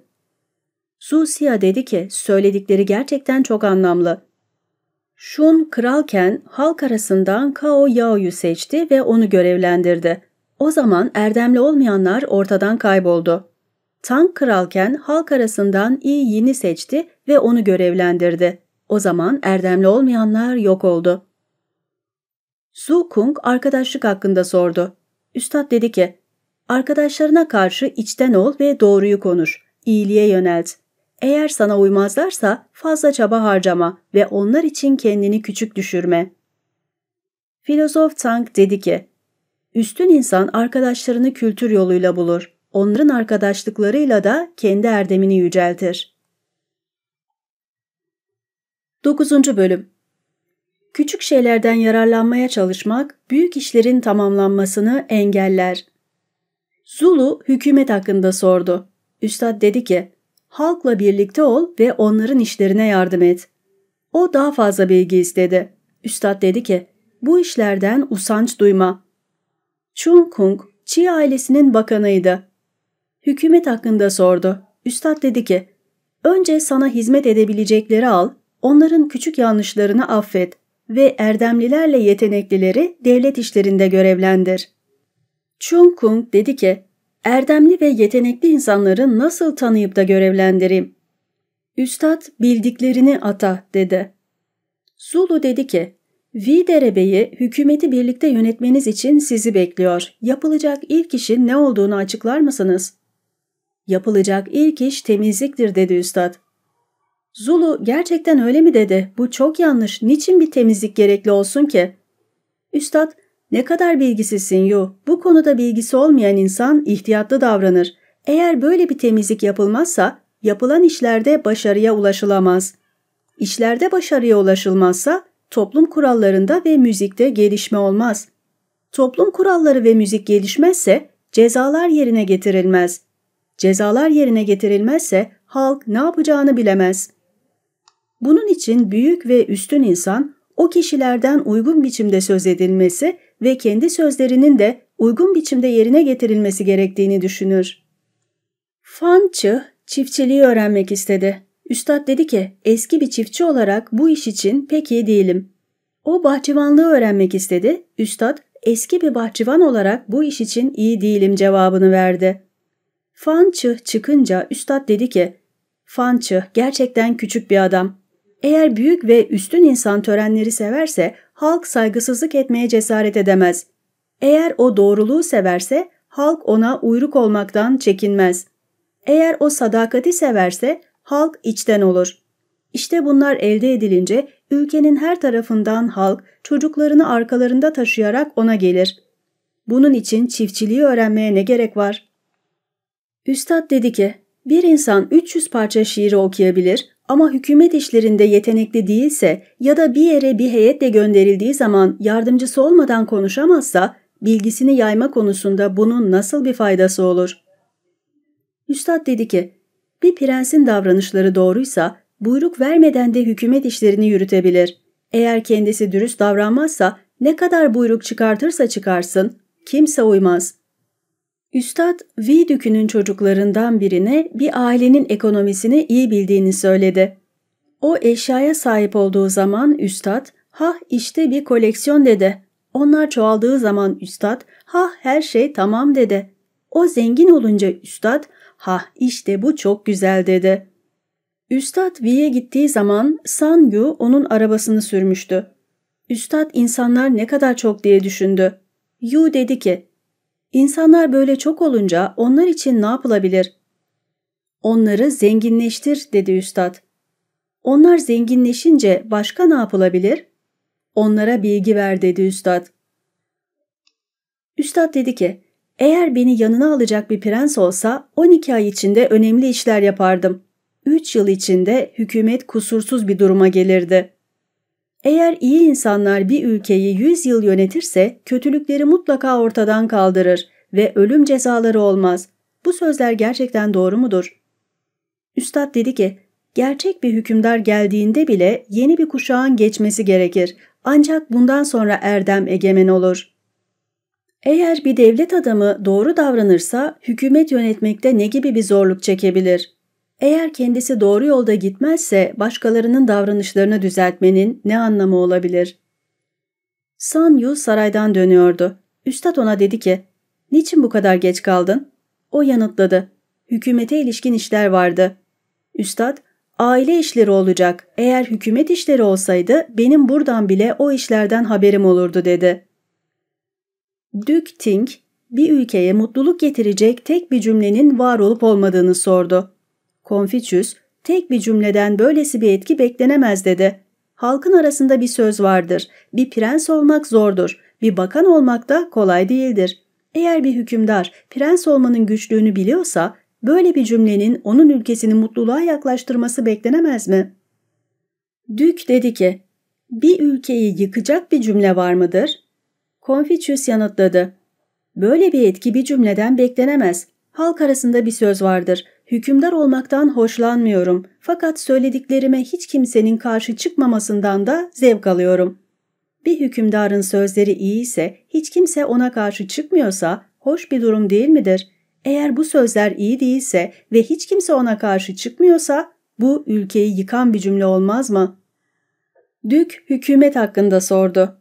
Üstad dedi ki, İyi bir hükümet birlikte olduklarını mutlu kılar, uzakta olanları kendine çeker. İşlerin yapılmasında aceleci olma, küçük şeylerden yararlanmaya çalışma. İşlerin yapılmasında aceleci olmak en iyinin yapılmasını önler. Küçük şeylerden yararlanmaya çalışmaksa büyük işlerin tamamlanmasını önler.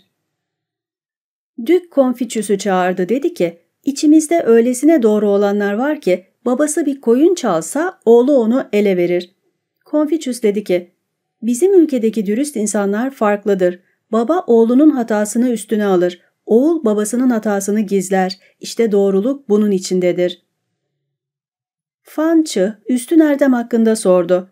Üstad dedi ki, İnsan evinde saygıdeğer olmalı. Görevi başındayken ağır başlılığı elden bırakmamalı. Başkalarıyla ilişkilerinde sadık ve içten olmalı. Uygarlıktan nasibini almamış bölgelerde yaşasa bile bunları bırakmamalıdır. Bir insanın bilgin olarak tanınması için ne gibi özelliklere sahip olması gerektiği soruldu. Üstad dedi ki, o kişi kendi davranışlarından utanç duyarsa ve bir yere gönderildiği zaman çevresindekileri küçük düşürmezse o kişiye bilgin denir. Bu kişinin ardından onun yerini kimin alabileceğini sordular. Üstad, aile üyeleri arasında anaya bağlı ve köylü komşuları arasındaysa kardeş olarak tanınan kimsedir dedi. Öğrencisi yeniden sordu. Bundan sonraki aşamada kimlerin olabileceğini öğrenebilir miyim? Üstad, bu kişiler söyledikleri şeylerde kesinlikle içten ve davranışlarında çok kararlıdır. Onlar inatçı, küçük insanlardır. Böyle olmakla beraber bundan sonraki sınıfa girebilirler cevabını verdi. Öğrenci yine sordu. Günümüzde devlet işlerinde görevi olanlar hangi sınıftadır? Üstad yanıtladı. O, onlar yalnızca birer alettir, haklarında konuşulmaya değmez. Üstad dedi ki, orta yolu izleyen bir insan bulamadım. Bu durumda kime bilgi vereceğim? Çalışkan ve ihtiyatlı kişileri bulmalıyım. Çalışkan olanlar ilerler ve gerçeği elde eder. İhtiyatlı olanlar kendilerini yanlışlardan korur. Üstad dedi ki, Güney halkının bir sözü vardır. Sebat etmeyen bir insan ne büyücü ne de doktor olabilir. Güzel, erdemde süreklilik olmazsa o kişi saygınlığını kaybeder. Üstad bu yalnızca iyiyi ve kötüyü önceden bilememesinden ileri gelir dedi. Büyük ve üstün insan naziktir ama yaltaklanmaz. Küçük insan yaltaklanır hem de nazik değildir. Öğrencisi dedi ki, bütün komşuları tarafından sevilen bir insan için ne söyleyebilirsiniz? Üstad cevapladı. Onun hakkında aynı fikre sahip olmayabiliriz. Komşuları tarafından nefret edilen bir kimse hakkında ne dersiniz? Onun kötü olduğu üstüne bir sonuca varmamış olabiliriz. İyi olan komşular onu severler, kötü olanlar ondan nefret edebilirler cevabını verdi.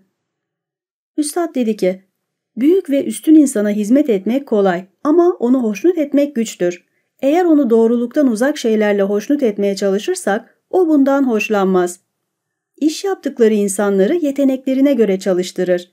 Küçük insana hizmet etmek güçtür, hoşnut etmekse kolaydır. Onu doğrulukla bağdaşmayan şeylerle hoşnut etmeye çalışırsan bile o bundan hoşlanacaktır.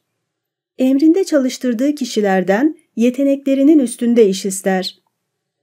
Üstad dedi ki, Büyük ve üstün insan ağırbaşlıdır ama kendini beğenmiş değildir. Küçük insansa kendini beğenir ve ağırbaşlı değildir. Dayanıklılık, katlanma, sadelik ve alçak gönüllülük erdeme yakındır. Öğrencisi bir insanın kendisini bilgin olarak göstermesi için ne gibi özelliklere sahip olması gerektiğini sordu. Üstad yanıtladı. Bu kişi ciddi, çevik ve yumuşak olursa ona bilgin denir. Arkadaşları arasında ciddi ve çevik, kardeşleri arasında da yumuşak olmalıdır. İyi bir insan halkı 7 yıl eğittikten sonra savaşa gönderebilir. Halka bilgi vermeden onları savaşa göndermek, onları yok etmek demektir. 10. Bölüm Gururu olmayanın zengin olması kolaydır. Hisyen utancın ne olduğunu sordu. Üstad dedi ki, Adil bir ülke yönetiminin hizmetinde çalışırken düşünülen yalnızca ücretse ve adaletsiz bir yönetimin hizmetinde çalışırken tek düşünülen şey gene ücretse bu utançtır. Adil bir ülkenin hizmetinde çalışmak yerine adaletsiz bir ülkenin hizmetinde çalışmak da utançtır. Üstün olma isteği, övünme, açgözlülük, saldırganlık ve hırs yok edildiği zaman erdemli olunduğu sanılıyor. Üstad dedi ki, bu belki güç olan bir şeyin başarılması olarak kabul edilebilir fakat bunun erdemli olmakla bir ilişkisinin olduğunu sanmıyorum. Üstad dedi ki, rahatını düşünen bir bilgin, bilgin olarak düşünülemez. Bir yönetim iyi olduğu zaman sözler ve davranışlar en geniş sınırlar içinde özgürdür. Kötü bir yönetim iş başındayken davranışlar belki en geniş sınırlar içinde özgürdür ama konuşmalarda ihtiyatlı olmak gerekir. Erdemli insanların söyleyecek sözleri vardır ve doğru konuşurlar. Ama her söyleyecek sözü olan ve doğru konuşan erdemli değildir. Üstün insan cesurdur ama her cesur üstün insan değildir. Öğrencisi Konfüçyüs'e sordu. İyi ok atmakta ustaydı. Ao bir gemiyi yürütebilirdi. Fakat her ikisi de doğal biçimde ölmedi. Yu ve Chi tarım aletleri üstünde çalıştı ve imparatorluğu elde ettiler. Buna karşılık üstad bir şey söylemedi.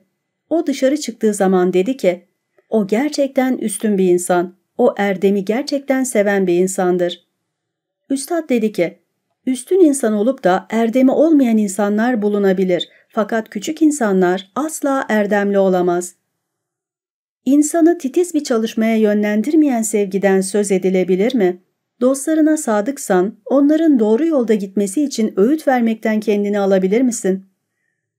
Üstad dedi ki, Pien şehri 300 ailesiyle birlikte Po ailesinin başkanının elinden alındı. Fakat o hayatının sonuna kadar sadece pirinç yemek zorunda kalmasına rağmen şikayette bulunmadı. Şikayet etmeksizin fakirliğe katlanmak güçtür. Gururu olmayanın zengin olması kolaydır. Zulu, kusursuz insanın nasıl olması gerektiğini sordu. Üstad dedi ki, bilgisini, tok gözlülüğünü, cesaretini ve çeşitli yeteneklerini elde etmiş bir insan düşün. Ve bunlara tören kurallarını ve müziğe bağlılığı eklersen, işte böyle bir kişiye kusursuz denebilir. Üstad dedi ki, Tis'in dükü Wen kurnazdı ama dürüst değildi. Çi dükü Huan dürüsttü ama kurnaz değildi. Zulu dedi ki, Dük Huan kardeşinin öldürülmesini sağladı Shao efendisiyle beraber öldü ama Kan ölmedi. Onun erdemsiz bir insan olduğu söylenemez mi? Üstad dedi ki, Dük Huan bütün prensleri topladı fakat silahları ve savaş arabaları yoktu. Bu yalnızca Kan'ın yardımıyla yapılmıştı. Onun gibi kim erdemli olabilir? Onun gibi kim erdemlidir? Zhu Kung dedi ki, Kan bence erdemli bir insan değil. Dük Huan kardeşinin öldürülmesini sağladığı zaman Chang onunla birlikte ölme cesaretini gösteremedi. Ayrıca Huan'ın başbakanı oldu. Üstad dedi ki, Kan Dük Han'ın başbakanı oldu, Huan'ı bütün prenslerin lideri yaptı ve imparatorluğu birleştirip düzenledi. Bugüne kadar halk onun verdiği hediyelerden memnun kaldı. Şimdi biz Kan Chang için saçlarımızı çözmeli ve paltolarımızı soldan iliklemeliyiz. Eskiden Çin'de sağ taraf onur makamı olarak kabul edilirdi. Burada gerek saç şekli gerekse sol tarafın kullanılması barbar kabilelerine has bir şey olarak kabul ediliyordu. Üstad devamla, sen ondan nehirde ya da hendeklerde intihar eden düşük kadın ve erkeklerin vefasını mı bekleyeceksin? Bu insanlar hakkında kimse bir şey bilmiyor.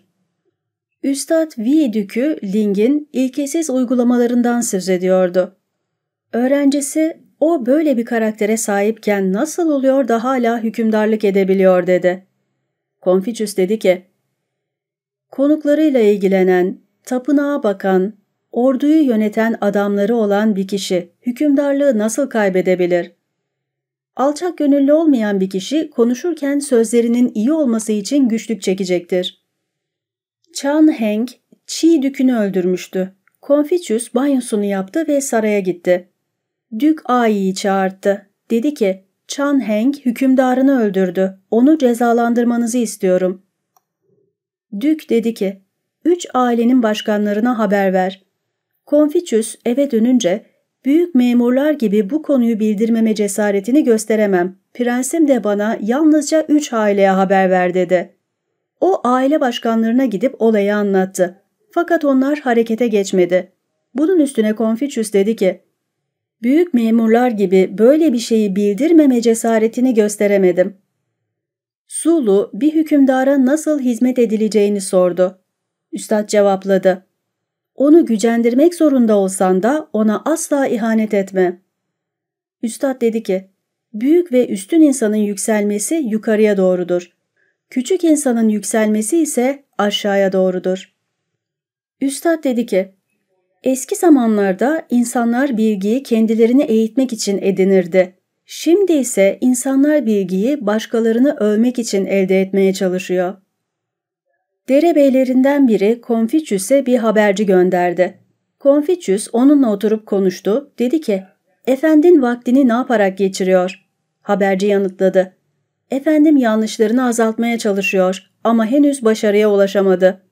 Haberci gidince üstad işte gerçek bir haberci dedi. Üstad dedi ki, hükümet katında bir görevi olmayan kişinin hükümetin yönetimi konusunda plan yapmasına hiç gerek yoktur. Filozof Zhang dedi ki, büyük ve üstün insan düşüncelerinde sınırı aşamaz. Üstad dedi ki, büyük ve üstün insan sözlerinde ihtiyatlı ama davranışlarında hızlıdır. Yapabileceğinden fazlasını söylemeye utanır. Büyük ve üstün insanın yolu üç misli yüksektir. Ben ona eşit değilim. Erdemli olanlar endişeden, akıllı olanlar korkudan uzaktır. İnsanların beni tanımayıp kabul etmemesinden korkmam. Kendi yeteneksizliğimden kaygı duyarım. Wi Sheng Mao Konfüçyüs'e dedi ki, Nasıl oluyor da siz burada böyle oturup duruyorsunuz? Siz güzel konuşan bir insan değil misiniz? Konfüçyüs dedi ki, Böyle bir insan olduğumu söyleme cesaretinde bulunamam fakat inatçı olmaktan da nefret ederim. Üstad dedi ki, bir at yalnız kuvvetli olduğu için değil, başka iyi yeteneklerinden dolayı Çi adını alır. Çi eski çağlarda bin li koşan bir atın adıdır. Biri dedi ki, kötülüğe iyilikle nasıl yanıt verilir? Üstad cevapladı, peki siz iyiliğe neyle karşılık verirsiniz? Kötülüğe doğrulukla, iyiliğe iyilikle yanıt ver. Üstad dedi ki, ne yazık beni anlayan hiç kimse yok. Zhu Kung dedi ki, beni anlayan hiç kimse yok demekle neyi söylemek istediniz? Bunu da anlamadım. Üstad yanıtladı, ben göğe şikayetler sıralamıyorum, insanları da kınamıyorum. Temelden incelemeye başlıyor ve daha yüksek şeylere erişiyorum. Çalışmalarım az, anlayışımsa çok yüksek. Fakat işte gök, o beni anlıyor. Üstad dedi ki, değerli kimi insanlar yalnızlığa çekiliyor. Bazı kötü bakışlardan uzaklaşıyorlar. Bazıları da anlamsız sözlerden kaçıyorlar. Su Chang dedi ki, Tarih kitabı Shu'da sarayda yapılan matem törenleriyle ilgilenen Ko Sung Üç yıl konuşmadı, sözüyle ne anlatmak isteniyor? Üstad dedi ki, neden Kosung buna örnek gösteriliyor? Eski insanların hepsi bunu yapmıştır. Hükümdar öldüğü zaman memurlar görevlerini yerine getirdi ve üç yıl başbakandan emir aldı. Üstad dedi ki, hükümdarlar kurallara uyarsa halkı daha kolay çalıştırırlar. Zulu bilge insana ilişkin sordu.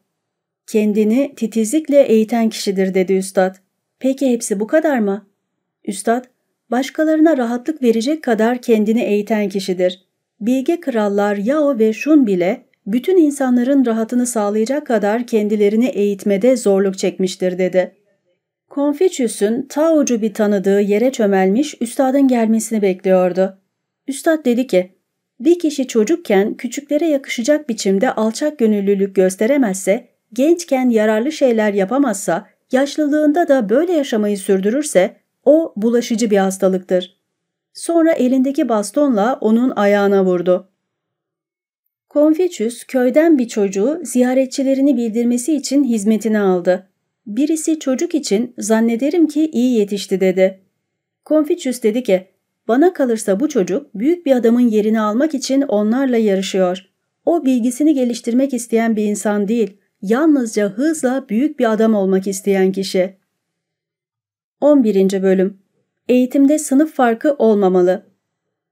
Vidükü savaşa hazırlık konusunda sordu. Confucius şöyle yanıtladı. Kurban kaplarının düzenlenmesine ilişkin çok şey duydum. Fakat savaş hakkında hiçbir şey bilmiyorum. Ertesi gün Confucius oradan ayrıldı. Çanda yiyecekleri bitti. Birlikte yolculuk edenler yerlerinden kalkamayacak kadar yorgun düştü. Zulu üzüntüyle dedi ki, büyük ve üstün insanın bütün bunlara katlanması mı gerekir? Üstad yanıtladı. Büyük ve üstün insan gerçekten yokluğa katlanır. Küçük insansa yokluk içinde olduğu zaman daha fazlasını ister ve öz denetimini kaybeder. Üstad dedi ki, Zu beni birçok şey öğrenmiş ve bunları unutmamış biri olarak düşünür müsün? Zu yanıt verdi. Evet böyle değil midir? Hayır, ben her şeyi içine alan bilgiyi arıyorum, dedi. Üstad dedi ki, Yu erdemin ne olduğunu bilen insan çok az. Şun kişisel bir çaba harcamadan yönetebilir miydi? O ne yaptı? Ağır başlılık ve ciddiyetle tahtında oturmaktan başka ne yaptı? Zhu Cheng bir insanın davranışı nasıl olmalıdır diye sordu. Üstad yanıtladı. Sözlerinde içten ve doğru, davranışlarında saygılı ve dikkatli ise bu kişinin davranışı kuzeyin ve güneyin vahşi kabileleri arasında bile beğenilir. Eğer sözlerinde içten ve doğru, davranışlarında saygılı ve dikkatli değilse bu insan komşuları tarafından beğenilir mi? Doğruluğun önünde hakikatla ağır başlılığı sergilesin, arabanın dizginlerini onlar tutsun. Zhu Chang bu sözleri kemerinin üstüne yazdı. Üstad dedi ki, tarihçi Yu gerçekten dürüst bir insandı. Ülke iyi bir yönetim tarafından yönetilirken bir ok gibi kararlı ve doğruydu. Kötü bir yönetim iş başına geçtiğinde o gene ok gibiydi. İyi bir yönetim varken o her zaman görevinin başında bulunurdu. Kötü bir yönetim iş başındayken kendini uzakta tutardı. Üstad dedi ki, konuşmaya değer bir insanla konuşmazsan onu kaybedersin. Konuşmaya değmez bir insanla konuşursan sözlerini boşa harcarsın. Akıllı olan ne o insanı kaybeder ne de sözlerini boşa harcar. Üstad dedi ki, iradeli bilginler ve erdemli insanlar erdemlerine zarar verecek yaşama yolları aramazlar. Hatta erdemlerini daha kusursuzlaştırmak için hayatlarını verirler. Öğrencisi ne yapılırsa erdemli olunabileceğini sordu. Üstad dedi ki, İyi iş yapmak isteyen bir işçi önce aletlerini tanımalı. Bir ülkede büyük memurlar arasında en değerlilerini seçmeli. Bilginler arasında en erdemlisiyle arkadaşlık etmeli. Yen Yuan bir ülkenin nasıl yönetilmesi gerektiğini sordu. Üstad dedi ki, Hisya sülalesinin yolundan git. Yin sülalesinin devlet arabasına bin, çoğu hanedanının tören şapkasını giy, Shao'nun dans müziğini çal. Chan'ın müzik ve şarkılarını bırak, İki yüzlü insanlardan uzaklaş, çankların şarkıları yasalara yakındır. İki yüzlü insanlar tehlikelidir. Üstad dedi ki, Bir insan yeterince uzağa düşünmezse kısa süre içinde mutlaka üzüntüyle karşılaşır. Her şey bitti. Güzelliği sevdiği kadar erdemi de seven bir insan görmedim. Kendisinden çok, başkalarından az isteyen bir insan özünü kötülüklerden uzak tutar. Eğer bir kişi buna ilişkin ne düşünebilirim diye sorup bir düşünce öne süremezse benim de ona ilişkin bir diyeceğim olmaz. Bütün gün bir arada olup da doğruluğa ilişkin tek söz etmez ve en ufak bir konuda öneri sunmazsa onların durumu kötüdür. Üstad dedi ki, Büyük ve üstün insan yeteneksizliğinden üzüntü duyar, insanların kendisini tanımamasından endişe etmez. Büyük ve üstün insan her şeyde doğruluğu ilke edinir. Bunu tören kurallarına uygun biçimde hayata geçirir. Bunu alçak gönüllülükle kurar ve içtenlikle yürütür. Büyük ve üstün insanın ölümünden sonra adının unutulacağına ilişkin bir endişesi olmaz. Büyük ve üstün insan kendi kendini bulmaya çalışır. Küçük insansa başkalarını aramaya uğraşır. Üstad dedi ki, büyük ve üstün insan ne birini sözünden dolayı yüceltir ne de o insan için güzel sözlerden vazgeçer. Su Kung dedi ki, bir kişinin tüm yaşamına rehber olabilecek ne vardır? Üstad yanıtladı. Karşılıklı davranış sözcüğü kullanılamaz mı? Kendine yapılmasını istemediğin şeyi başkalarına yapma. Üstad dedi ki, birlikte olduğum insanların hangisinin iyi, hangisinin kötü olduğunu nasıl bileyim? Eğer bir kişiyi fazlasıyla beğenmiyorsam, bu onu fazlasıyla incelemiş olmamdan ötürüdür. Gençliğimde tarihçiler de metinlerde açık bir yer bırakırdı. Atı olan bir kimse atını binmesi için başkasına verirdi. Ne yazık şimdi böyle şeyler olmuyor. İki yüzlülük erdemi sarsar. Zekice konuşma erdemi engeller. Küçük şeylere karşı sabırsız olmak büyük planları bozar. Halk birinden nefret ediyorsa bunu incelemek gerekir. Halk birini seviyorsa bunu gene incelemek gerekir. Üstad dedi ki, bir kişi izlediği ilkeleri geliştirebilir. Bu ilkeler insanı geliştirmez. Bir insan yanlışları olup da bunları düzeltmezse bu hataları benimsemiş demektir. Bütün gün yemek yemeden, bütün gece uyumadan düşündüm. Hiç yararı olmadı. En iyisi çalışmak. Büyük ve üstün insanın yolu gerçekliktir. Yemek onun hedefi olamaz. Kıtlık olduğu zaman bile çift sürebilir. Böylece bilgiyle kazanç elde eder. Üstün insan yoksul kalacağı için değil, gerçeği elde edemeyeceği için endişe duyar. Bir insanın çok ama pek çok bilgisi olup da onu tutacak erdemden yoksunsa, ne kadar kazanırsa kazansın sonunda her şeyi yitirir. Bilgisi ve de bunu sıkı tutacak kadar erdemi olup da memleketini iyi yönetmiyorsa halk ona gene saygı göstermez. Bilgisi olup da bunu sıkı tutacak erdemi de varsa ve ülkesini iyi yönetiyorsa ancak halkı tören kurallarına karşı kışkırtıyorsa o insan gene kusursuzluğa erişemez. Erdem bir insan için su ve ateşten de önemlidir. Ben ateş ve su içinde ölen insanlar gördüm ama erdem içinde ölenleri görmedim. Bir insan erdemi kendisine göre düşünürse bunu kendi öğretmenine bile anlatamaz.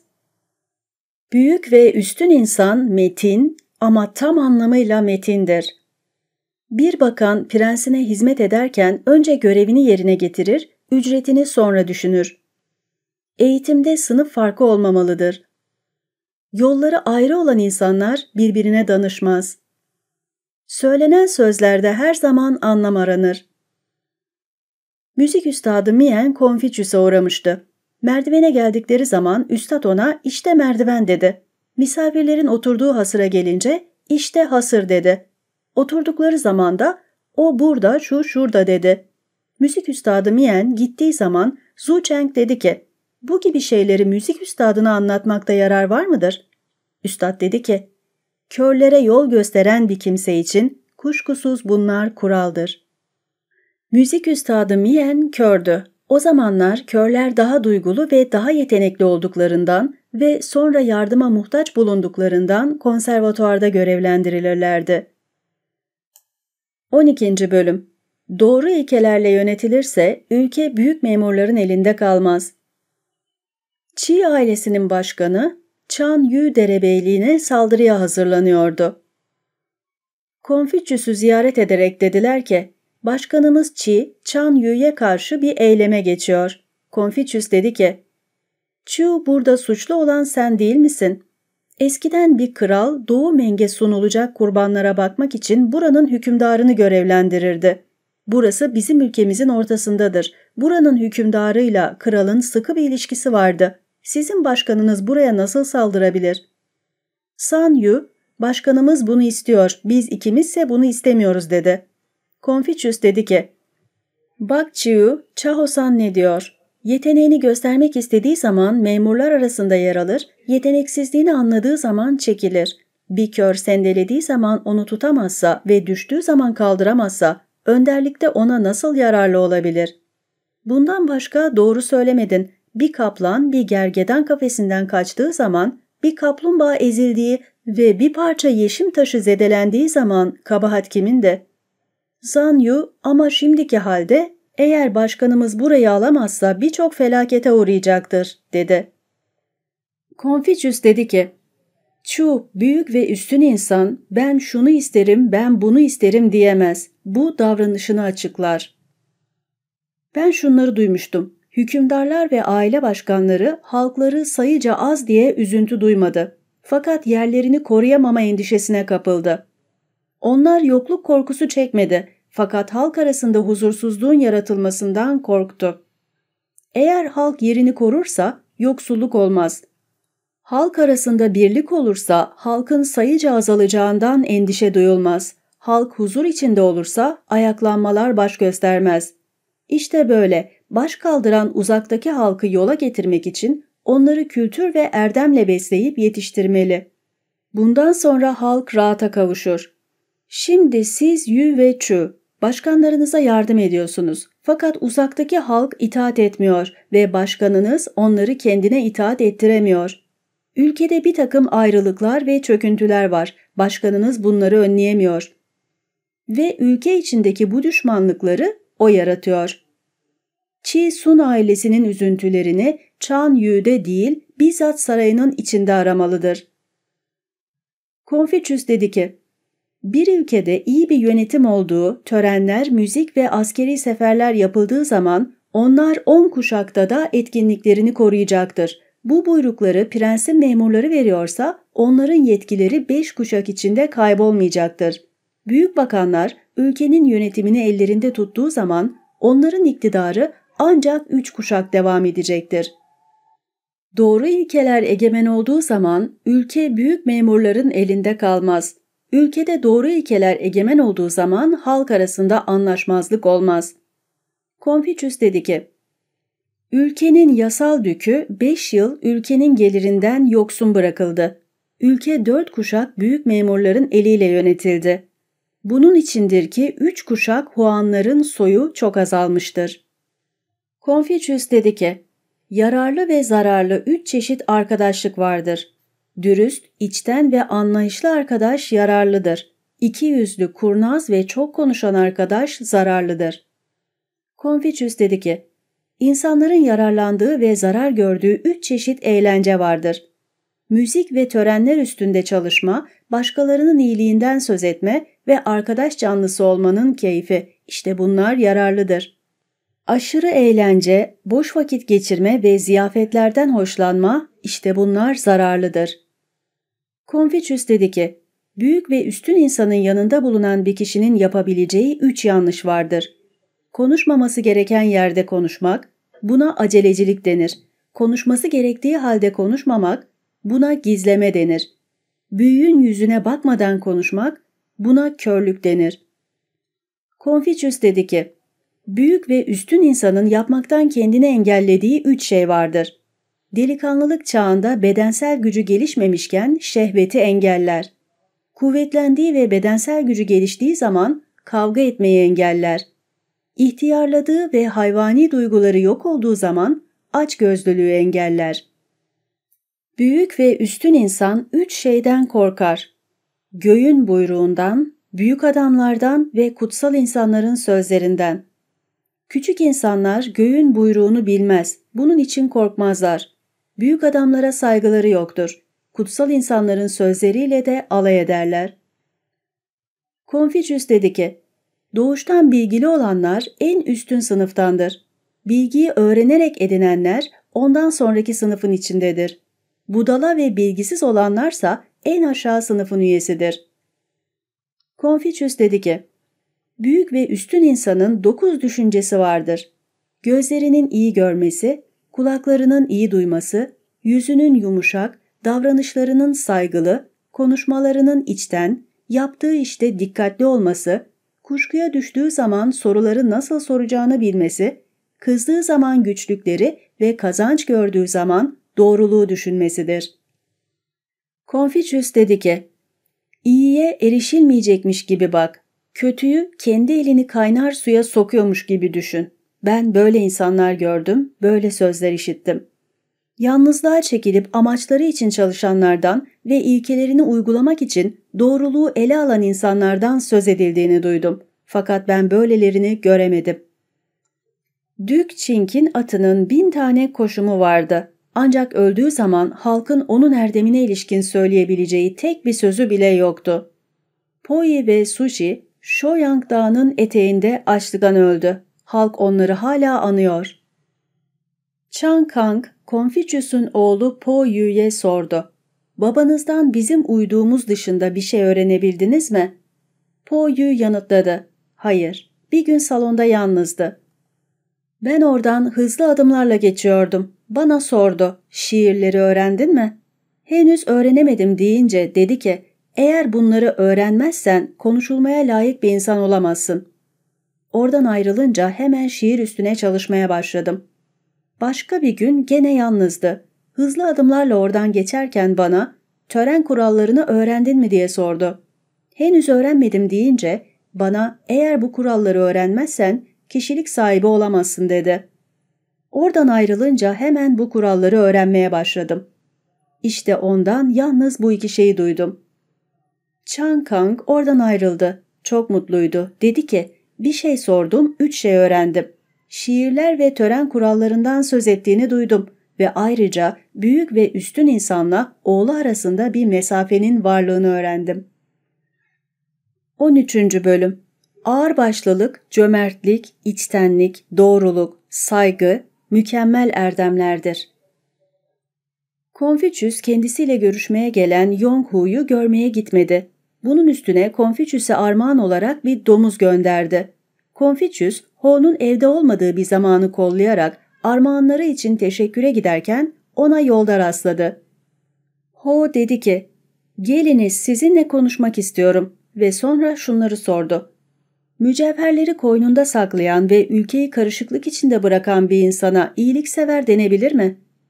Konfüçyüs yanıt verdi, hayır. Ülkesine hizmetten çekinen ve bu fırsatı kaçıran bir kişiye akıllı denebilir mi?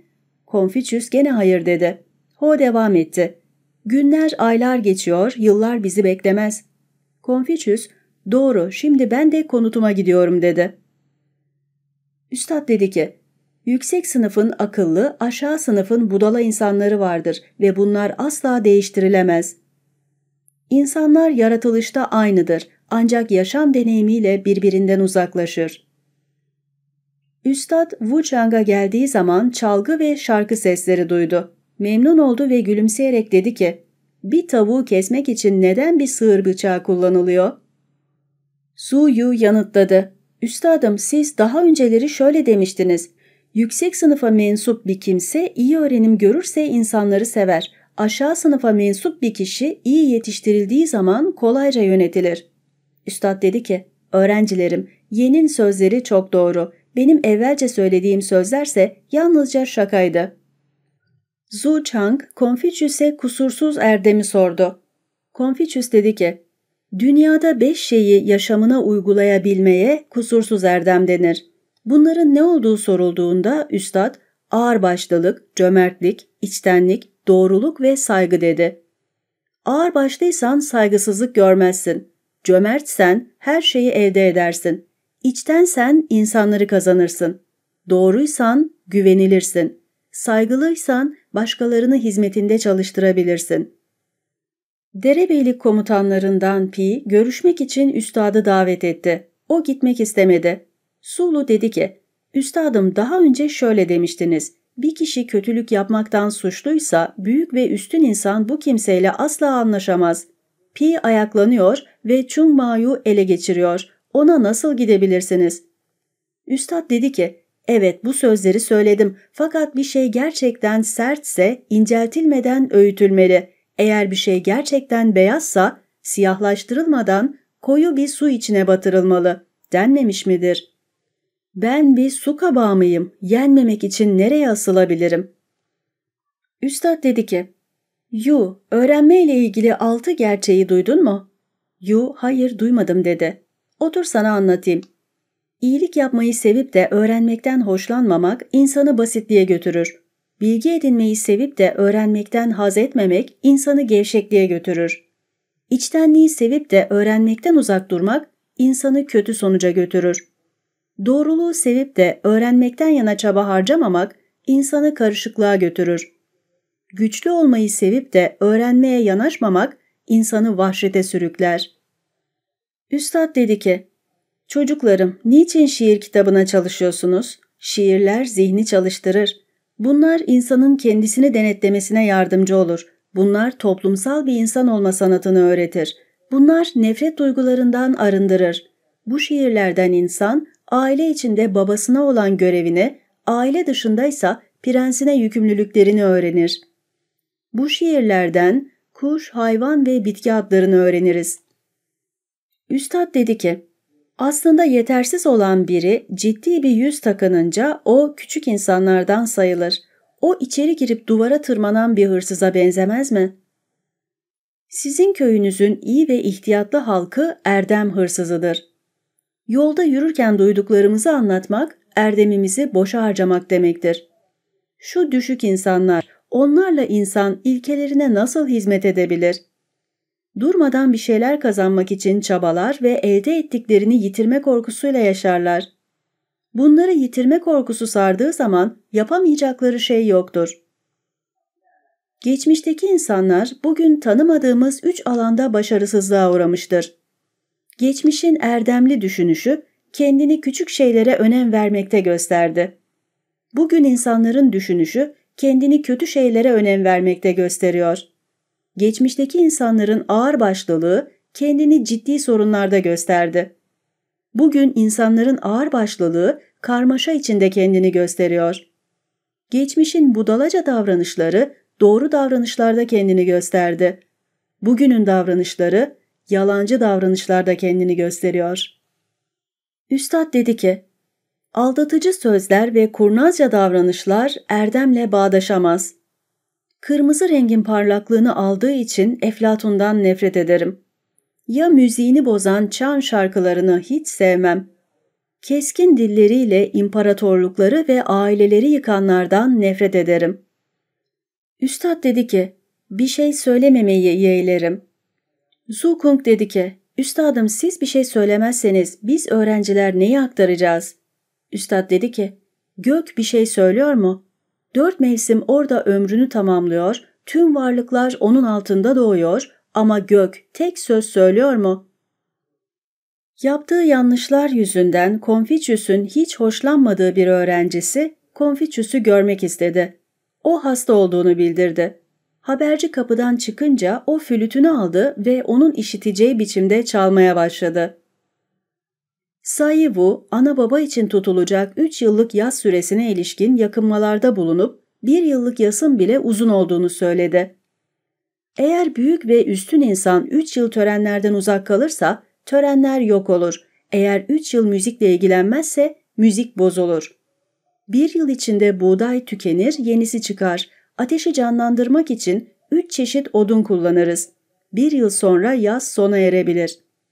Üstad dedi ki, bir yıl sonra eski pirincin iyisini yeseniz ve güzel işte elbiseler giyseniz bile huzur içinde yaşayabilir misiniz?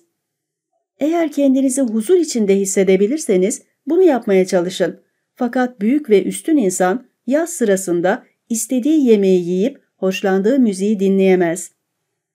Bir yerde rahatça oturuyorsa bile kendisini huzur içinde hissetmez.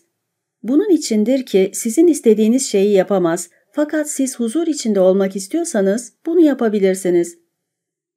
Sahibu dışarı çıkınca üstad dedi ki, bu Yu'nun erdeminin noksanlığını gösterir. Küçük bir çocuk 3 yaşına kadar ana babasının kucağında bakılır. İmparatorluk içinde 3 yıl yaz genel olarak kabul edilmiştir. Yu 3 yıl ana baba sevgisini tatmadı mı? Üstad dedi ki, bütün gün payına düşecek yemeği düşünüp de kafasını başka bir şey için yormayan bir kişiyle birlikte olmak çok zordur. Oynayabileceğin oyun da mı yok? Bu bile hiçbir şey yapmamaktan çok daha iyidir. Zulu dedi ki, büyük ve üstün insan yiğitliğe değer verir mi? Üstad dedi ki, büyük ve üstün insan doğruluğu en yüksek değer olarak kabul eder. Üstün insan doğru olmayıp cesur olursa asi demektir. Küçük insan dürüst olmayıp cesursa haydut olur. Zukung dedi ki, büyük ve üstün insan nefret edebilir mi? Üstad dedi ki, nefret eder. O başkalarının kötülüğünü isteyenlerden nefret eder. Aşağılarda olup da üstlerine iftira edenleri sevmez. Sonra cesur olup da törenlere önem vermeyenlerden hoşlanmaz. Ve küstah olanlardan, anlaşmalarında içten pazarlıklı olanlardan nefret eder. Üstad sordu. Zu, senin de nefret ettiğin şeyler var mı? Su Kung yanıtladı. Gözetleyici olanlardan ve kendilerini bilgili sananlardan nefret ederim. Alçak gönüllü olmayanlardan ve kendilerini cesur sananlardan hoşlanmam. Sonra sır saklamayanlardan ve kendilerini dürüst sayanlardan nefret ederim. Üstad dedi ki, İnsanlar arasında genç kızlarla hizmetçilere karşı doğru davranışı belirlemek çok zordur. Eğer onlara yakınlık gösterecek olursanız alçak gönüllülüklerini kaybederler. Uzak duracak olursanız kızarlar. 40 yaşına gelen bir kişi artık sevilmez. Bu böylece devam edip gider. Çinlilere göre 40 yaşında bir insan en olgun çağındadır. Bu yaştan sonra artık sönmeye yüz tutar. 14. Bölüm Büyük erdem sınırını aşamasan bile küçük erdem yolunu geçebilirsin. Su Chang dedi ki, bir bilgin tehlikeyi gördüğü zaman hayatını fedaya hazırdır. Bir kazanç elde etme fırsatıyla karşılaştığında doğruluğu düşünür.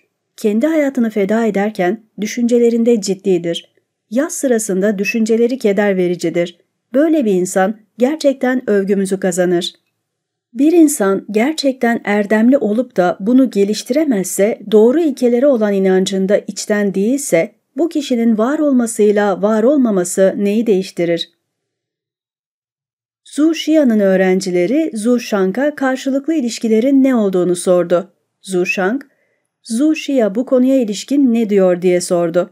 Öğrenciler, Zhu Xia diyor ki, sana yararlı olanlarla ilişki kur sana yararlı olmayanlardan uzaklaş diye yanıtladı. Zhu Chang, bu benim öğrendiklerimden farklı, büyük ve üstün insan yetenekli ve erdemli olanları beğenir. Herkese karşı dayanıklıdır. O iyi olanları beğenir. Yeteneksiz olanlara acır. Ben yetenekli ve erdemli miyim? Aranızda katlanamayacağım kişi kim olabilir? Ben yeteneksiz ve erdemsiz bir insan mıyım? İnsanlar beni kendilerinden uzaklaştırıyor. Uzaklaştırılan insanlarla ne yapabiliriz?'' Zhu Xia dedi ki, basit sorunlarda bile araştırılması gereken bir şey vardır. Eğer araştırılması gereken bu şeyi göz ardı edersek onu yaşama geçirmek tehlikeli olur. Büyük ve üstün insan bundan kaçınır. Günler geçtikçe neyi bilmediğini anlarsa, aylar ilerledikçe neyi kazandığını unutmazsa bu kişi için öğrenmeyi gerçekten seviyor diyebiliriz.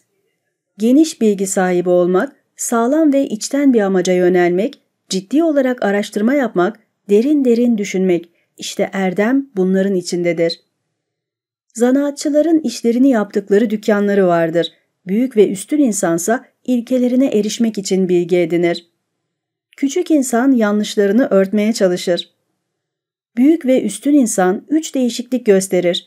Uzaktan bakılınca ciddi, yanına gidildiğinde yumuşak görünür. Konuştuğu zaman sözleri inandırıcıdır. Büyük ve üstün insan güvenini kazandıktan sonra halkını çalıştırır. Eğer onların güvenini kazanamazsa halk onun baskı yaptığını sanır. İlkeleri güven kazanınca kim ona karşı çıkabilir? Ama güven kazanılmamışsa o zaman prens halkın kendisine karşı olduğunu düşünebilir. Zuşia dedi ki, bir kişi büyük erdem sınırını aşamazsa bile küçük erdem yolunu geçebilir. Zuşia'nın öğrencileri ve yandaşları yerleri süpürmekte ve sorulara yanıt vermekte yeterince bilgilidir. Bunlar yalnız bilginin dallarıdır. Asıl olan şeye ilişkin bir şey bilmiyorlar. Onlar yeterince öğrendiklerini nasıl anlayacak? Zuşia bunu duyunca dedi ki, Ne yazık ki Yen Yu yanlış düşünüyor. Büyük ve üstün insanın yolunda en önemli bulduğu şeyler nedir? Ve ikinci derecede önemli saydığı şeyler nedir? Sınıflara ayrılan bitkiler gibi o da öğrencileriyle ayrı ayrı ilgilenir. Üstün insanın yolu onlardan birini nasıl budala yapabilir? Bilginin başlangıcıyla tamamını birleştiren insan, kutsal insan değil midir? Bir memur görevini yaptıktan sonra boş zamanlarını öğrenmeye harcamalıdır. Öğrenci öğrenimini tamamladıktan sonra bir memur olmaya çalışmalıdır. Yaz süresinde keder en yüksek derecesine geldiği zaman artık yasa son verilmelidir. Su Shia dedi ki, Arkadaşım Chang güç olan şeyleri yapar fakat yüksek erdem sahibi değildir. Chang'ın davranışları ne kadar aldatıcı, onunla erdemi uygulayabilmek çok güçtür. Filozof Zhang dedi ki, Bunları üstadımızdan duydum. İnsanlar içlerinde olan şeyleri tümüyle açığa vurmaz fakat ana babalarının yasında bunu gösterirler. Su Kung dedi ki, Chao'ların kötülüğü o kadar büyük değildir. O nedenle büyük ve üstün insan dünyanın bütün kötülüklerinin birleştiği aşağı bir yerde yaşamaktan nefret eder. Büyük ve üstün insanların yanlışları ay ve güneş tutulması gibidir. Onun da yanlışları vardır. Bütün insanlar bunu görür. O değişir, bütün insanlar gene onu arar. Derebeylik başkanlarından Shu Sun sarayda büyük memurlarıyla görüşürken dedi ki, Zhu Kung Chunni'den daha üstündür. Bir evle duvarını karşılaştıralım. Benim duvarım ancak omzuma kadar gelir. Herkes üstünden bakabilir ve evdeki değerli şeyleri görebilir. Üstadımın duvarı ise birkaç kulaç yüksektedir. Eğer bir kimse kapıyı bulup da içeri giremezse ne atalar tapınağının güzelliğini ne de iyi giyinmiş memurları görebilir. Kapıyı bulanlar pek azdır. Sizin başkanınızın görüşü de böyle değil midir? Chuni için kötü sözleri duyduğunda Zhu Kung dedi ki, böyle konuşmakta hiç fayda yok. Chuni hakkında kötü söz söylenemez. İnsanların yetenek ve erdemi tepecikler gibidir, üstünden aşılır. Chuni ise ay ve güneş gibidir, ona asla erişilemez. Bir kimse kendisini insanlardan ayırmak isterse, onun aya ve güneşe zararı dokunabilir mi? O yalnızca kendi yeteneğinin ne olduğunu bilemediğini göstermiş olur. Zhu Kung'a dediler ki, siz çok alçak gönüllüsünüz. Chuni neden sizden üstün olsun? Su Kung dedi ki, bir sözle üstün insan akıllı görülebilir. Bir sözle de budala olabilir. Söylediklerimize çok dikkat etmeliyiz. Göğe merdivenle gidilemeyeceği gibi üstadımıza da erişilemez. Üstadımız bir ülkenin hükümdarı ya da bir ailenin başkanı durumundadır. Kutsal insanlar için kullanılan sözün bunu ispat ettiğini göreceğiz. Eğer halk kendi arasında birlik yaratırsa ancak o zaman kurtulur. Onlara önderlik ederse halk da onu izler. Halkı refaha kavuşturursa halk kendiliğinden ona gider. Halkı harekete geçirirse onlar sonradan huzura kavuşur. O yaşadıkça onuru artar, ölünce herkes derinden acı duyar. Bu insana nasıl erişilir? 15. Bölüm Bilginin başlangıcıyla tamamını birleştiren insan kutsal insandır. Yao dedi ki, Oh siz şun, kişiliğinizde göğün birçok buyruğunu taşıyorsunuz. Bunları sıkı tutun. Bütün dünyada dört deniz içinde kıtlık ve felaket olursa göksel varlıklar ebediyen yok olacak. Şun da bu buyruklara göre davrandı. Tank dedi ki, ben koyu renkli kurbanı sunma cesaretinde bulunduğumu sana bildiriyorum. O en yüce Tanrı, sana günahlarımın affını isteme cesaretinde bulunamıyorum. Onları yargılayan sensin Tanrım. Eğer ben suç işlersem bu sana ve halkına yüklenmemelidir. Halk içinde bir suç işlenirse bana yüklenmelidir. Çoğu büyük hediyeler dağıttı ve iyi insanları zenginleştirdi. Çoğunun her zaman yakın akrabaları varsa da bunlar benim erdemli insanlarıma eşit değildir. Halk yalnız bir kişiye, bana suçu yüklemektedir. O bütün ölçüleri göz önünde tuttu. yasaları gözden geçirdi, görevinden atılmış memurları yerlerine getirdi ve ülkede iyi bir hükümet kurdu. Yok edilen devletleri ve aileleri yeniden kurdu. Yalnızlığa çekilenleri yeniden görev başına getirdi. Böylece imparatorluk içinde halk ona bağlandı. Önem verdiği başlıca şeyler halkın yiyeceği, yas ve kurban törenleriydi. İyilikseverliğiyle o herkesi kazandı. İçten oluşu halkı kendine inandırdı. Ciddi çalışmasıyla başarısı büyük oldu ve adaletinden herkes memnundu. Zhu Chang Konfüçyüs'e sordu. İktidarı ele geçiren bir kişi halkını iyi yönetmek için ne yapmalıdır? Üstad yanıtladı. Beş üstünlüğü yüceltirse, dört kötülükten uzak durursa halkını iyi yönetmiş olur. Zhu Chang dedi ki, beş üstünlükten neyi kastediyorsunuz? Üstad, iktidarda olan bir kişi aşırı harcamalar yapmadan yararlı olabilirse, halkına bıkkınlık vermeyecek görevler verirse, istediği şeyi açgözlülük yapmadan alabilirse, gururlu olmadan saygınlık kazanırsa, ürkütücü olmadan yüce olabilirse cevabını verdi. Su Chang dedi ki, aşırı harcama yapmadan faydalı olmaktan neyi kastediyorsunuz? Üstad yanıtladı. İktidarı elinde tutan halkı için yararlı işler yapar ve halk bundan yararlanırsa bu aşırı harcama yapmadan yararlı olmaktır. İyi işçileri seçer ve onları çalıştırırsa bundan kim şikayet eder? İstekleri devletin iyiliği için olursa onu açgözlü olmakla kim suçlayabilir? Halkı az olsun çok olsun ona hiç kimse saygısızlık etmeye cesaret edemez. Bu gururlu olmadan saygınlık kazanmaktır. Kendine uygun elbise ve şapka giyer, bakışları da ciddi olursa elbette saygı görür. Bu korkunç olmadan yüce olmaktır. Zhu Chang sordu. Dört kötü şeyden neyi kastediyorsunuz? Üstad yanıtladı. Halkı eğitmeden onları ölüme sürüklemek, buna zulüm denir. Onları önceden bilgilendirmeden iş yüklemek, buna baskı denir. Acelesi olmayan buyruklar çıkartıp sonra bunların hemen yapılmasını istemek, buna gaddarlık denir. Genel olarak insanlara bir şey verirken ya da onları ödüllendirirken cimri davranmak, buna yersiz davranış denir. Üstad dedi ki, Göğün buyruklarını bilmeden büyük ve üstün insan olma olasılığı yoktur. Toplum kurallarını bilmeden kişilik sahibi olunamaz. Konuşmasını bilmeden insanları tanımak olanaksızdır. Erdem'in ardından git dinlediniz. Confucius Son